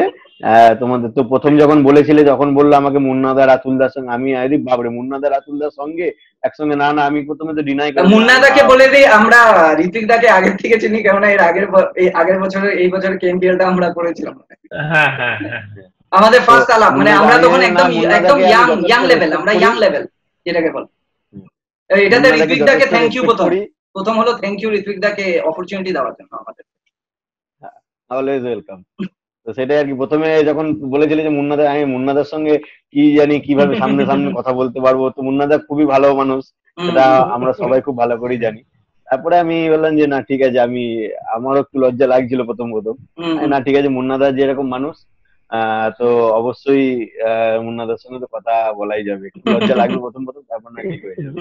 রমেনদা বলো। ভালো thank you first of all এটা হচ্ছে একটা গ্রেট অপরচুনিটি আমার জন্য। অ্যান্ড সেকেন্ড থিং ইজ আমি খুব এক্সাইটেড ব্যাপারটাকে নিয়ে কারণ আমি দেখে এসেছি একটা পর একটা ইন্টারভিউ দেখে আসছি প্রত্যেকটা ইন্টারভিউ ফলো করি তো ইন্টারভিউ গুলো দেখে আসছি। হ্যাঁ, তোমার কেমন লাগল আমার- মানে কতটা রিলেশন আছে? একই রকম প্রায়? একদম একদম। আমি যথেষ্ট এক্সাইটেড ছিলাম ব্যাপারটাকে নিয়ে। ইভেন এখন মানে মানে এটা মানে- আমাদের জন্য মুন্নাদা খুব চ্যালেঞ্জিং ছিল যে প্লেয়ার্সদেরকে নিয়ে তো আমরা করি। এবার অর্গানাইজার আর টিম ওনারদেরকে নিয়ে কীভাবে ব্ল্যান্ড করে একটা মানে বড়িয়া জিনিস বের করতে হবে না? হ্যাঁ সেটা তো ওইটা আর কি। দারুণ দারুণ দারুণ দারুণ লেগেছে। হুম, আমি একটা কথা বলে দিই লাস্টে বলো। হ্যাঁ দা। কিশোর দা আপনার সঙ্গে তো কোথাও না কোথাও দেখা ঠিক এবছর করবোই। কিন্তু হ্যাঁ মৌচাকটা। নিশ্চয়ই যাব বর্ধমান তবে সবের মাঝে আমি আমার একটা ছোট্ট কথা কি দাদারা যেহেতু আছেন এখানে সবাই তো সেই জায়গা থেকে আমার একটা ছোট্ট রিকোয়েস্ট কি কেএমপিএল টাকে আরও কীভাবে মানে প্রেজেন্ট করা যায় ভালোভাবে ভালো জায়গায় এবং ভালোভাবে রিপ্রেজেন্ট করতে পারি তার জন্য ছোটখাটো কোনো ওপিনিয়ন দাদা? আমাদেরকে অবশ্যই শেয়ার করবেন। রমেনদা হ্যাঁ। তোমাকে আমি অনলাইন বলছি এখন সবাই আছে এখানে পুরো ফোরাম বসে আছে। যদি ঋত্বিক দা আমাদেরকে এই বছর আবার চান্স দেয় সুযোগটা দেয় बवाल हो Chance जाएगा না, এটা होगा, নিজে- আমি बवाल। বলছি আমি এবার বলছি বওয়াল এটা হয়ে বওয়াল করে যায়গা। দেবো। আমি লাগাবো এখানে। ইন্টারাপশন ইন্টারাপশন ইন্টারাপশন বলো, বলো। এখানে চান্সের কোনো গল্প নেই চান্সের নিজে হাতে তৈরি করেছো তোমরা তো সেই জায়গা থেকে তোমাদের চান্স নয় তোমাদের খেলা এটা কেএমপিএলটা তোমাদের শুধু মানে এবার এবার এটা হলো একদম। পুরো মনোজ বাজপেয়ী ডায়লগ ববাল হো যায়গা ইস বাড়ি ববাল। একদম একদম। আহ, যদি ধরো আহ, মুন্নাদা আহ, রাতুলদা আর ঋত্বিকদা আহ, আমরা যদি তোমাদের সামনে থাকতাম আর এটা একটা প্যানেল সিস্টেমে ইন্টারভিউ হতো ক্যামেরা ম্যামেরা লাগিয়ে তাহলে আমরা একটা আমাদের সাইড থেকে একটা গিফট দিতাম। তো এখন দূরে আছি অনলাইনে হচ্ছে তো হাতে বানানো একটা জিনিস আছে ওটা দেখে নাও আদিত্য। আচ্ছা। we love team PLB and KMPL. अच्छा thank you thank you thank you दोस्तों आज का एपिसोड यहीं पे समाप्त होता है। कमेंट करें आप किसे नेक्स्ट देखना चाहते हैं द लॉकडाउन शो पे। तब तक के लिए सब्सक्राइब करें चैनल को और बेल आइकन को दबा लें। आज के लिए अलविदा। मिलते हैं नेक्स्ट एपिसोड में।